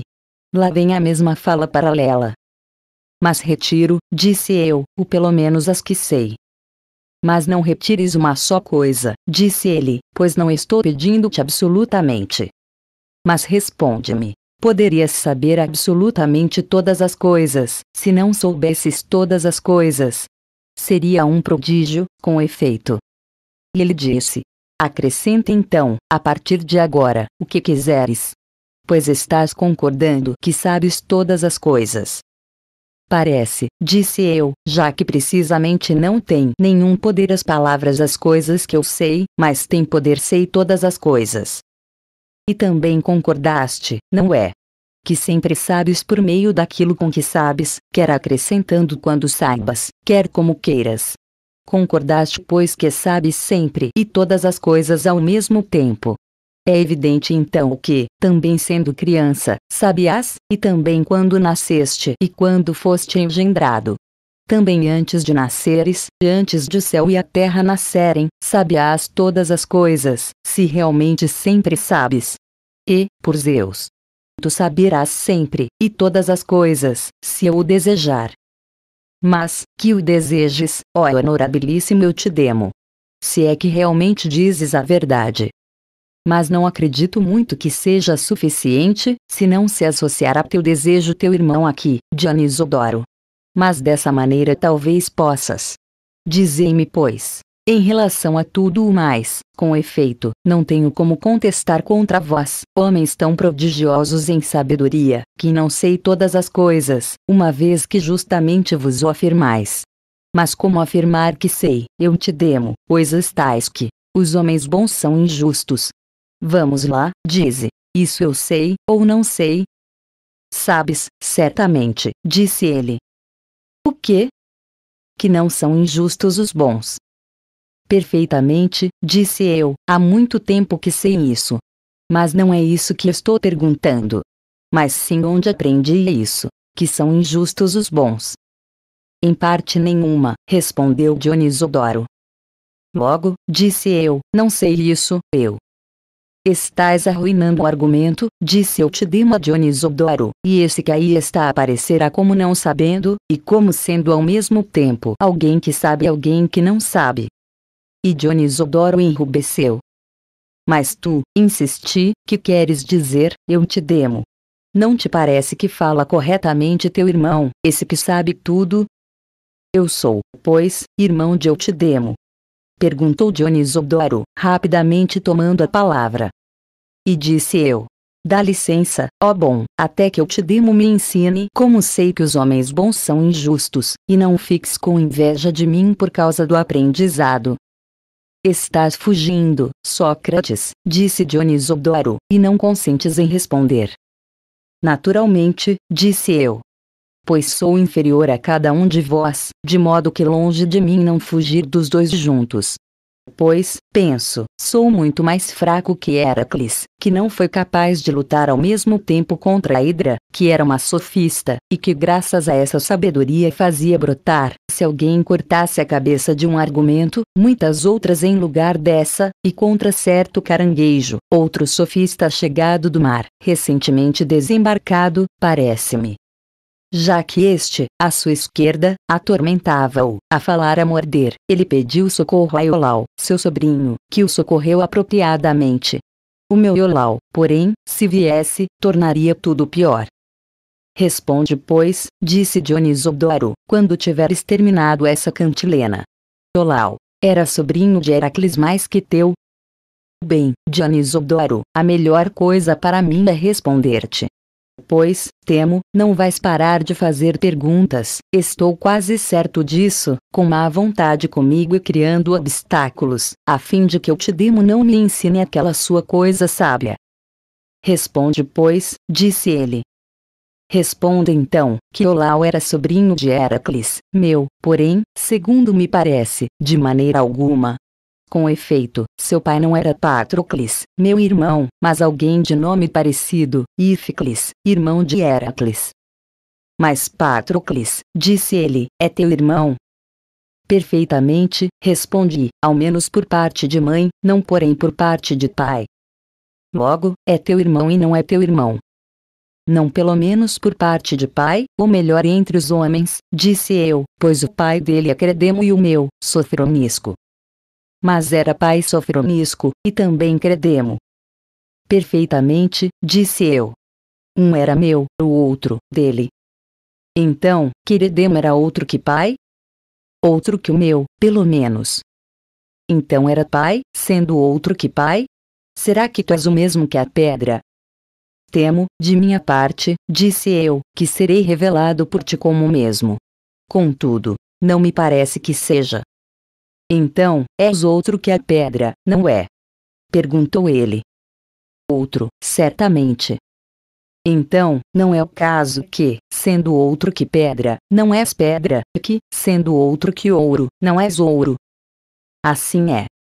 Então, tampouco credemo, disse ele, sendo outro que pai, é pai.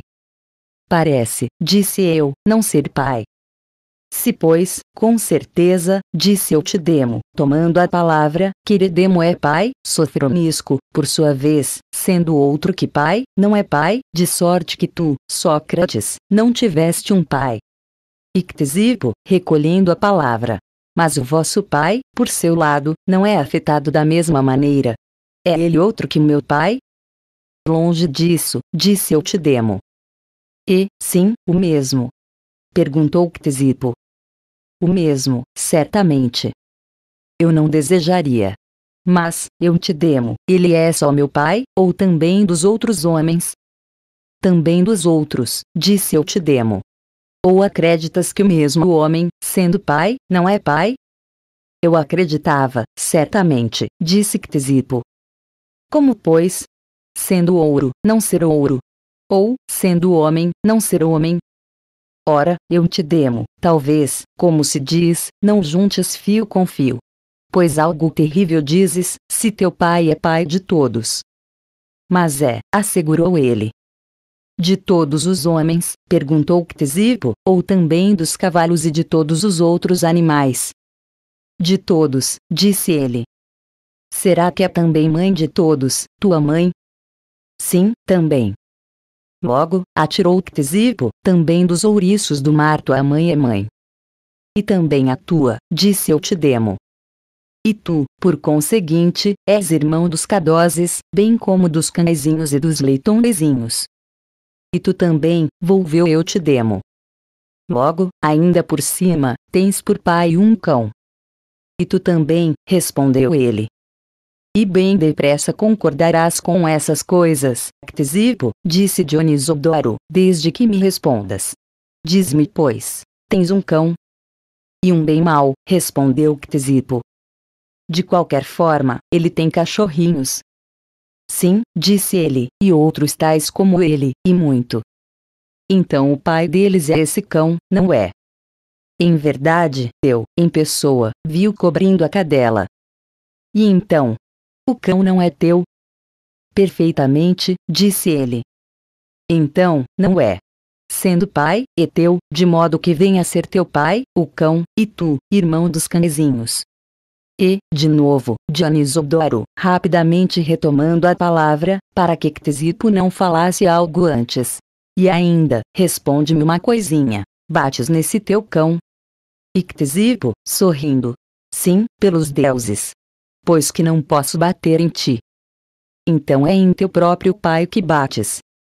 Seguramente, disse Ctesipo, com mais justiça bateria em vosso pai, que será que estava pensando para engendrar filhos tão sábios? Mas, certamente, creio, eu te demo, muitos bens extraiu dessa vossa sabedoria o pai que é vosso e dos canezinhos.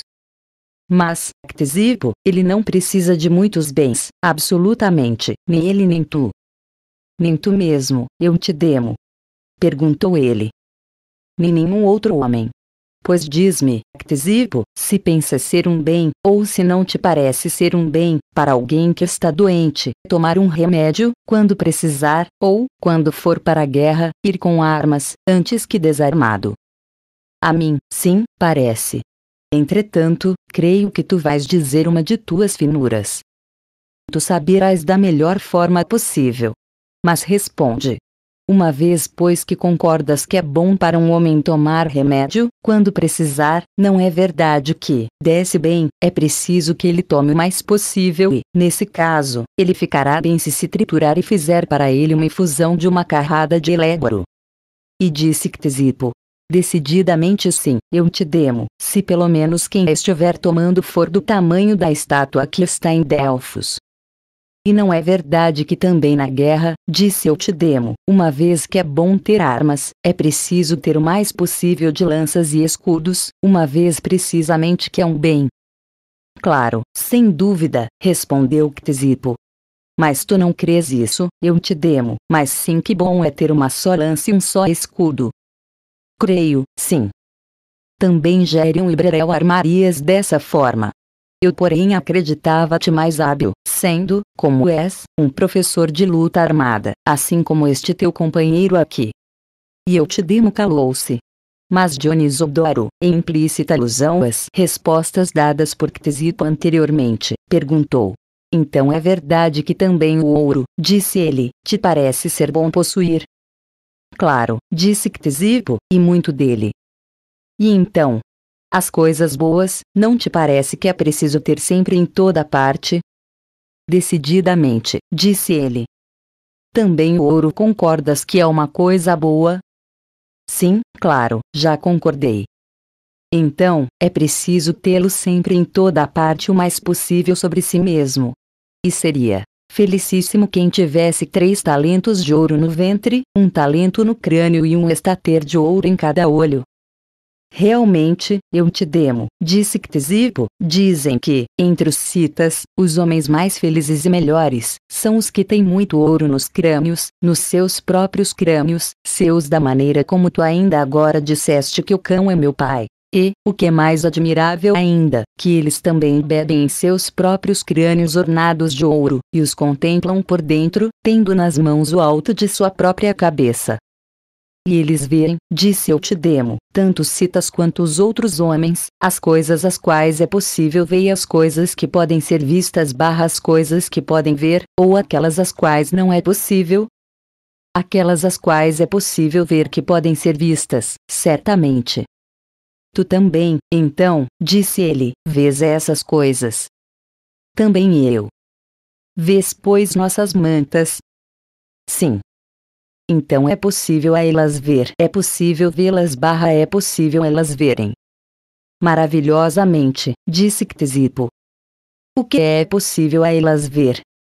Nada. Mas tu talvez não as creis ver não creis que elas verem, tão cândido és.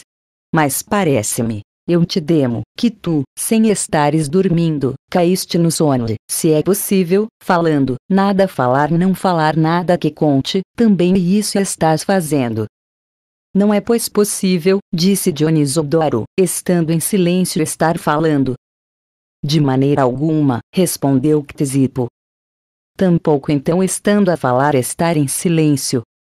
Ainda menos, disse ele, quando então disseres pedras, madeira, ferro, não falas coisas silentes. Não, pelo menos se passo ao lado das forjas, pois, ao contrário, dizem que o ferro lança a voz e grita muitíssimo, se alguém o toca. De modo que, em tua sabedoria, não te deste conta de que nada falaste, não disseste nada que conte. Mas demonstra-me ainda outra coisa, que, por sua vez, é possível estando a falar estar em silêncio. E parecia-me que Ctesipo esmerava-se na competição verbal, por causa de seu bem-amado. Quando silências, disse eu te demo, não silências todas as coisas. Sim, disse ele. Então, também silências as coisas que estão falando, se realmente elas são parte de todas as coisas absolutamente. Como assim? Perguntou Ctesipo. As coisas todas não estão silentes. Não, com certeza, disse eu te demo. Mas então, o melhor dos homens, as coisas todas estão falando. Sim, todas as que estão falando, certamente. Mas, disse Ctesipo, não é isso que estou perguntando, mas sim se todas estão silentes ou se todas estão falando. Nenhuma das duas coisas e ambas ao mesmo tempo, disse Dionisodoro, agarrando a palavra. Pois bem sei que com essa resposta não saberás o que fazer. Ictesipo, com mulher habitual, rindo a grandes gargalhadas, disse: Ó oh, eu te demo, teu irmão tomou a questão em dois sentidos está perdido e derrotado. E Clínias, todo encantado, pôs-se a rir, de modo que Ictesipo tornou-se mais que dez vezes maior. Ictesipo, parece-me, malandro como é, deles mesmos tinha subrepticiamente captado essas coisas. Pois não é de outros homens de agora tal saber. E eu perguntei: por que ris, Clínias, de coisas tão sérias e belas? Tu, pois, Sócrates, já viste alguma vez uma bela coisa? Disse Dionisodoro. Sim, já, muitas até, Dionisodoro que são outras que o belo, disse ele, ou as mesmas que o belo. E eu fiquei todo enrascado em aporia, e acreditava estar sofrendo a justa pena por ter aberto a boca. Disse, entretanto, que eram outras que o belo ele mesmo, mas que está presente em cada uma delas uma certa beleza. Se então, disse ele, vier a estar em minha presença um boi, és boi, e porque agora estou em tua presença, és Dionisodoro, Poupa-me disso, disse eu. Mas, de que maneira uma coisa, por estar em presença de outra, poderia ser outra? Estás em aporia com isso? Perguntei eu. E já tratava de imitar a sabedoria dos dois homens, desejando-a como desejava. Como então não vou ficar em aporia, disse ele, tanto eu quanto todos os outros homens, com aquilo que não é. Que queres dizer, Dionisodoro? Inquiri. O belo não é belo, e o feio, feio. Se assim me parecer, disse ele. E parece-te, não é? Perfeitamente, respondeu ele. E não é verdade que também o mesmo é o mesmo, e o outro, outro. Pois, com certeza, o outro não é o mesmo, mas eu, de minha parte, não poderia acreditar que nem mesmo uma criança ficaria em aporia com isso, que o outro é outro. Mas, Dionisodoro, isso, deixaste de lado deliberadamente, pois, quanto ao resto, pareceis-me, vos dois, como os artesãos, que, em cada arte, realizam o trabalho que lhes é apropriado. E vós, é a discussão que me pareceis realizar de maneira admirável. Sabes, então, disse ele, o que é apropriado a cada um dos artesãos? Primeiro, a quem é apropriado forjar? Sabes, Sei, sim. Ao ferreiro. E modelar a argila. Ao ceramista. E degolar, esfolare, depois de picar a carne, cozer e assar os pedacinhos. Ao cozinheiro, respondi. E, disse ele, se alguém fizer o que é apropriado, agirá corretamente, não é? Claro. É apropriado, pois, segundo afirmas, o cozinheiro picar e esfolar. Concordaste com isso, ou não? Concordei, disse eu, mas perdoa-me. Evidentemente, então, disse ele, se alguém, depois de degolar e picar, cozer e assar, o cozinheiro fará o que é apropriado, e se ao ferreiro alguém forjar, e ao ceramista modelar, também esse fará o que é apropriado. O Posidon. Disse eu, colocas o remate na sabedoria. Será que um dia ela virá a estar junto a mim, de modo a tornar-se minha, particularmente? Reconhecê-la-ias, Sócrates, se ela se tornasse minha particularmente? Se tu, em todo caso, consentires, disse eu, é evidente que sim. Pois bem, disse ele. As coisas que são tuas, crees conhecê-las? Se não disseres outra coisa, pois é preciso começar de ti e acabar com eu te dimo que aqui está. Então, creis serem tuas as coisas que governes e das quais te seja possível dispor como queiras. Por exemplo, um boi e um carneiro, acreditares que são tuas e essas coisas que te fosse possível vender, dar e sacrificar aquele dos deuses que quisesses, e que aquelas que não fossem assim não seriam tuas, e eu, pois sabia que das questões deles emergiria alguma finura, e ao mesmo tempo querendo ouvir o mais rapidamente possível, disse: Perfeitamente, é assim. Somente coisas tais são minhas. Pois bem. Animais, não é como chamas as coisas que têm uma alma. Sim, disse eu. Concordas então que, entre os animais, somente são teus aqueles sobre os quais tiveres a liberdade de fazer tudo isso que agora mesmo mencionei? Concordo.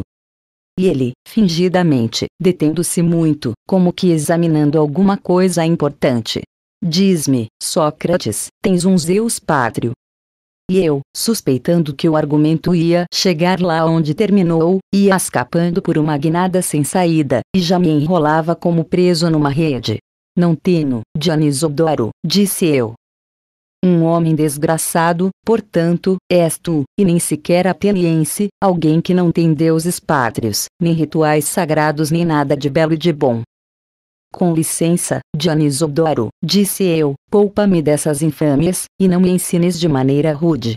Pois eu tenho altares e rituais sagrados, domésticos e pátrios, e todas as outras coisas desse tipo que têm os outros atenienses. Então, os outros atenienses não têm Zeus pátrio. Não, disse eu, esse cognome não é dado por nenhum dos jônios, nem aqueles que partiram desta cidade como colonizadores, nem por nós próprios mas é Apolo que é pátrio, por causa do nascimento de Ião. Zeus, porém, por nós não é chamado pátrio, mas deus do recinto doméstico e da fratria, e Atena, deusa da fratria. Mas basta, disse Dionisodoro. Tu tens, pois, segundo parece, Apolo e também Zeus e Atena. Perfeitamente, disse eu. Então, estes seriam teus deuses, não é? Deuses ancestrais, respondi, e mestres. Em todo caso, são teus. Ou não concordaste que eles são teus? Concordei, disse. Pois, se não, que será de mim? Então, também são animais esses deuses? Pois concordaste que todas as coisas que têm alma são animais. Ou esses deuses não têm alma? Tem, disse eu. Então, também são animais. São animais. E, entre os animais, disse ele, concordaste serem teus todos aqueles que te for possível dar, vender e sacrificar ao Deus que queiras. Concordei.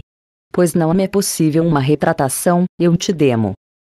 Vamos lá, diz-me logo, disse ele, já pois que concordas que são teus Zeus e todos os outros deuses, será que é possível para te vendi-los ou dá-los ou usá-los de qualquer outra maneira que queiras, como os outros animais? Mas eu então, Criton, como perplexo por esse discurso, estava ali plantado, sem voz. Ctesipo, porém, indo a mim como para socorrer-me, disse: Bravo, Heracles, pelo belo discurso. E disse Dionisodoro: Heracles é bravo, ou bravo é Heracles. E disse Ctesipo. O Posidon. Que formidáveis argumentos. Desisto. São imbatíveis os dois homens. Nesse momento, entretanto, Criton, não houve ninguém entre os presentes que não se desmanchasse em elogios ao argumento e aos dois homens, e por pouco não morreram de tanto rir, bater palmas e rejubilar-se pois, no caso das coisas ditas anteriormente, a cada uma e a todas, somente faziam grande tumulto os admiradores de Eutidemo. Nesse momento, porém, por pouco também as colunas do liceu não aplaudiram e se deleitaram com os dois homens. Eu mesmo, então me dispus de modo a concordar que jamais havia visto homens tão sábios, e, completamente subjugado pela sabedoria dos dois, pus-me a elogiá-los e tecer-lhes encômios, e disse: Ó bem-aventurados vos dois, pela natureza maravilhosa que tendes, vos que uma façanha tão grandiosa realizastes tão rapidamente em tão pouco tempo. Certamente, eu te demo. E Dionisodoro, os vossos discursos têm muitas outras belezas, mas, entre elas, o que é mais magnífico é que não vos importa absolutamente a maioria dos homens, mesmo os notáveis e de elevada reputação, mas vos importam, sim, apenas os semelhantes a vós. Pois eu bem sei que, esses argumentos, pouquíssimos apreciariam, e homens semelhantes a vós, enquanto os outros os ignoram de tal modo que bem sei que se envergonhariam, antes, de refutar os outros com tais argumentos, que de serem eles mesmos refutados. E eis aqui, por outro lado, outra coisa popular e delicada nos vossos argumentos. Quando afirmais que nenhuma coisa é bela, ou boa, ou branca, ou qualquer outra coisa desse tipo, e que tampouco é absolutamente outra que outras, simplesmente, na realidade, costurais as bocas dos homens, como também afirmais, mas, porque não somente as dos outros, mas pareceria que também as vossas próprias costurais, isso é muito gentil, e tira o que há de insuportável nos argumentos. Mas o que é mais importante é que essas coisas que fazeis são tais e com tal arte são por vos inventadas, que em muito pouco tempo qualquer homem poderia apreendê-las. Eu mesmo dei-me conta disso, prestando atenção em Ctesipo, em quão rapidamente ele era capaz de vos imitar imediatamente. Pois essa coisa sábia, na vossa atividade, no que se refere a transmitir rapidamente, é bela, mas, no que se refere a falar diante dos homens, não é apropriada. Ao contrário, se me ouvirdes, cuidareis de não falar diante de muitas pessoas, para que não aconteça que, aprendendo elas por completo rapidamente, não vos sejam gratas. Mas, de preferência, falai somente um com o outro. Se não, se todavia for diante de um ou outro, que seja somente com aquele que vos dê dinheiro, e essas mesmas coisas, se for das sábios, aconselhareis também aos vossos discípulos, que nunca falem com nenhum outro homem que não vos e eles próprios. Pois o que é raro, eu te demo, é precioso, enquanto a água é o que há de mais barato, embora sendo o que há de melhor, como disse Píndaro. Mas vamos lá, disse eu, acolhei como discípulos junto a vós, também a mim e a Clínias, que aqui está. Tendo trocado essas e ainda algumas outras breves palavras, Criton, partimos. Considera. então a ideia de frequentar comigo os dois homens, pois eles afirmam que são capazes de ensinar a quem estiver disposto a dar-lhes dinheiro e que não exclui nenhuma inclinação natural ou idade, o que sobretudo convém a te ouvir, que nem mesmo dedicar-se aos negócios impede absolutamente, seja quem for da facilmente aprender o saber deles. Criton, certamente, Sócrates, eu, de minha parte, sou alguém que gosta de ouvir e com prazer aprenderia alguma coisa.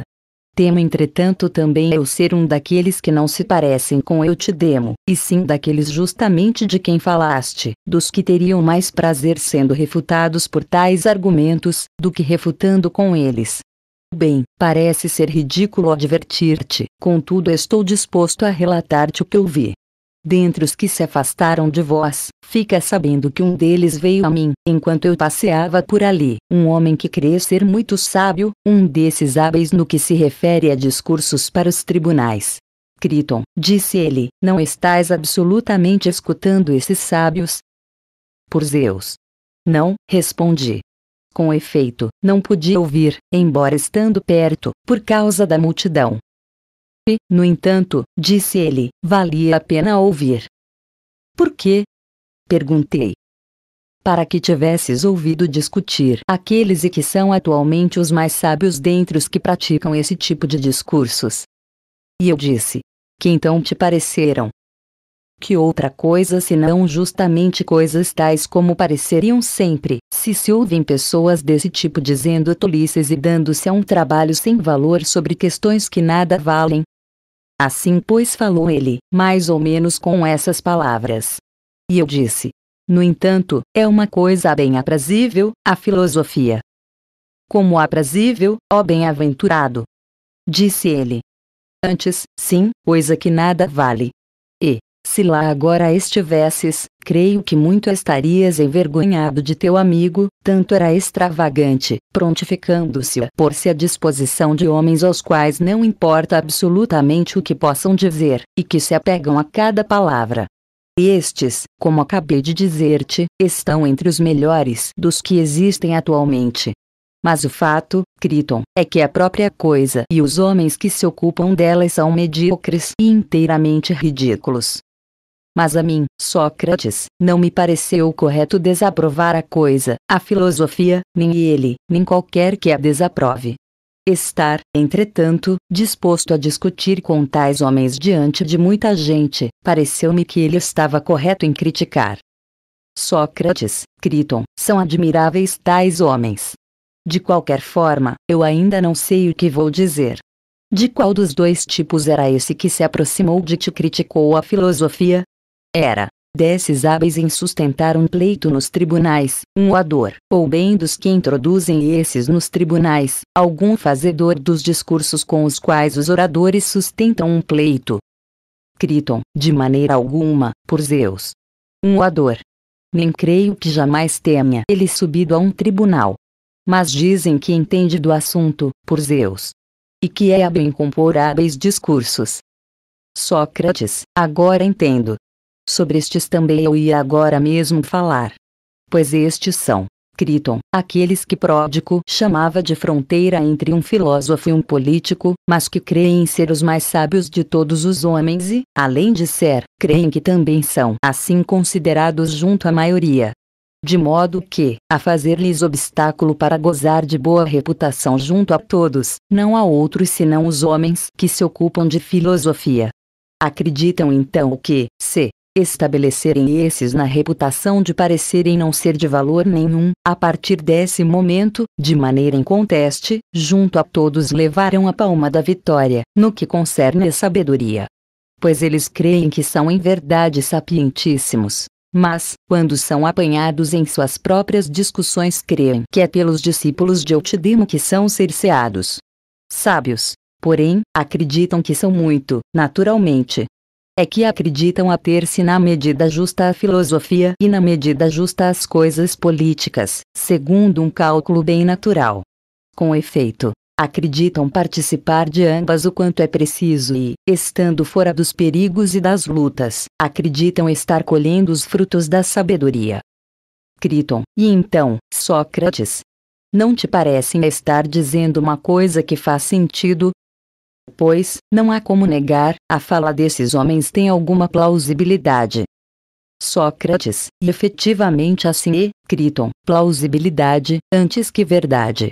Pois não é fácil convencê-los de que os homens, e todas as outras coisas que são intermediárias entre duas coisas, quaisquer que acontecem participar das duas, todas essas coisas, por um lado, se são compostas de um mal e de um bem, tornam-se melhores que um e piores que o outro. Mas, por outro lado, todas as que são compostas de dois bens que não são para o mesmo fim são piores que ambos, no que diz respeito àquilo em que seja útil cada um daqueles bens dos quais são compostas. E todas aquelas que, compostas de dois males que não são para o mesmo fim, se encontram no meio dos dois, são as únicas que são melhores que cada um desses, de uma parte dos quais participam. Ora, se a filosofia é um bem e também é atividade política, mas cada uma tem um objeto diferente, e se aqueles homens, participando de ambas as atividades, estão no meio delas, o que eles falam não tem valor, pois são inferiores a ambas. Mas se uma é um bem e outra um mal, são melhores que uma, mas piores que a outra. E se ambas são males, é nesse caso que diriam algo de verdadeiro, de outra forma, absolutamente não. Acredito então que eles não concordariam nem que ambas as coisas são males, nem que uma é um mal e outra um bem. Mas, na realidade, participando eles de ambas, são inferiores a cada uma delas em relação àquilo em que é política, assim como a filosofia tem o seu valor. E estando, na verdade, em terceiro lugar, procuram ter a reputação de estar em primeiro. Ora, é necessário perdoar-lhes por esse desejo e não se irritar com eles, mas tomá-los como eles são. Pois é necessário apreciar todos os homens que dizem qualquer coisa que seja que tenha conexão com a razão, e que corajosamente se empenham com afinco, avançando até o fim de seu trabalho. Criton, seguramente, Sócrates, eu próprio, a respeito dos meus filhos, como sempre te digo, estou num impasse sobre o que fazer com eles.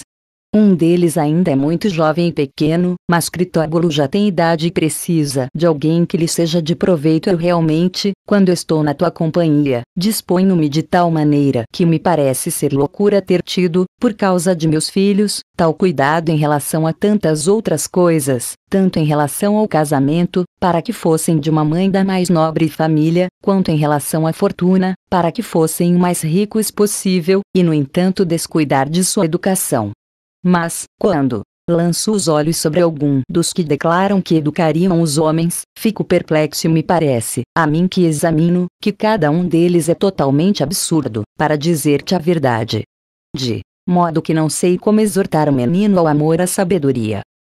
Sócrates, caro Criton, não sabes que, em toda a ocupação, de uma parte são muitos os médiocres e os que não têm nenhum valor, de outra são poucos, ao contrário, os sérios e que têm valor, pois a ginástica não te parece ser uma bela coisa, e também a arte dos negócios, a retórica, a estratégia?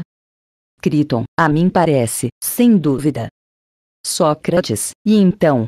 Em cada uma dessas artes, não vês que a maioria, em relação a cada trabalho, é ridícula? Criton, sim, por Zeus, dizes bem a verdade Sócrates, e então, por causa disso rugirás de todas as ocupações e não as recomendarás a teu filho. Criton, não, não seria justo, Sócrates. Sócrates, não vás pois fazer o que não se deve, Criton. Antes, manda passear os que se ocupam de filosofia, quer sejam úteis, quer sejam maus, e, pondo à prova, muito bem e cuidadosamente, a coisa mesma, se te parecer que é ruim, desvia dela todos os homens, não somente teus filhos, mas, se te parecer que ela é tal como eu próprio creio que ela é, confiantemente persegue e exercita nela, segundo aquele ditado, a ti mesmo e também as crianças. As crianças. As crianças. As crianças. As crianças. As crianças. As crianças. As crianças. As crianças. As crianças. As crianças. As crianças.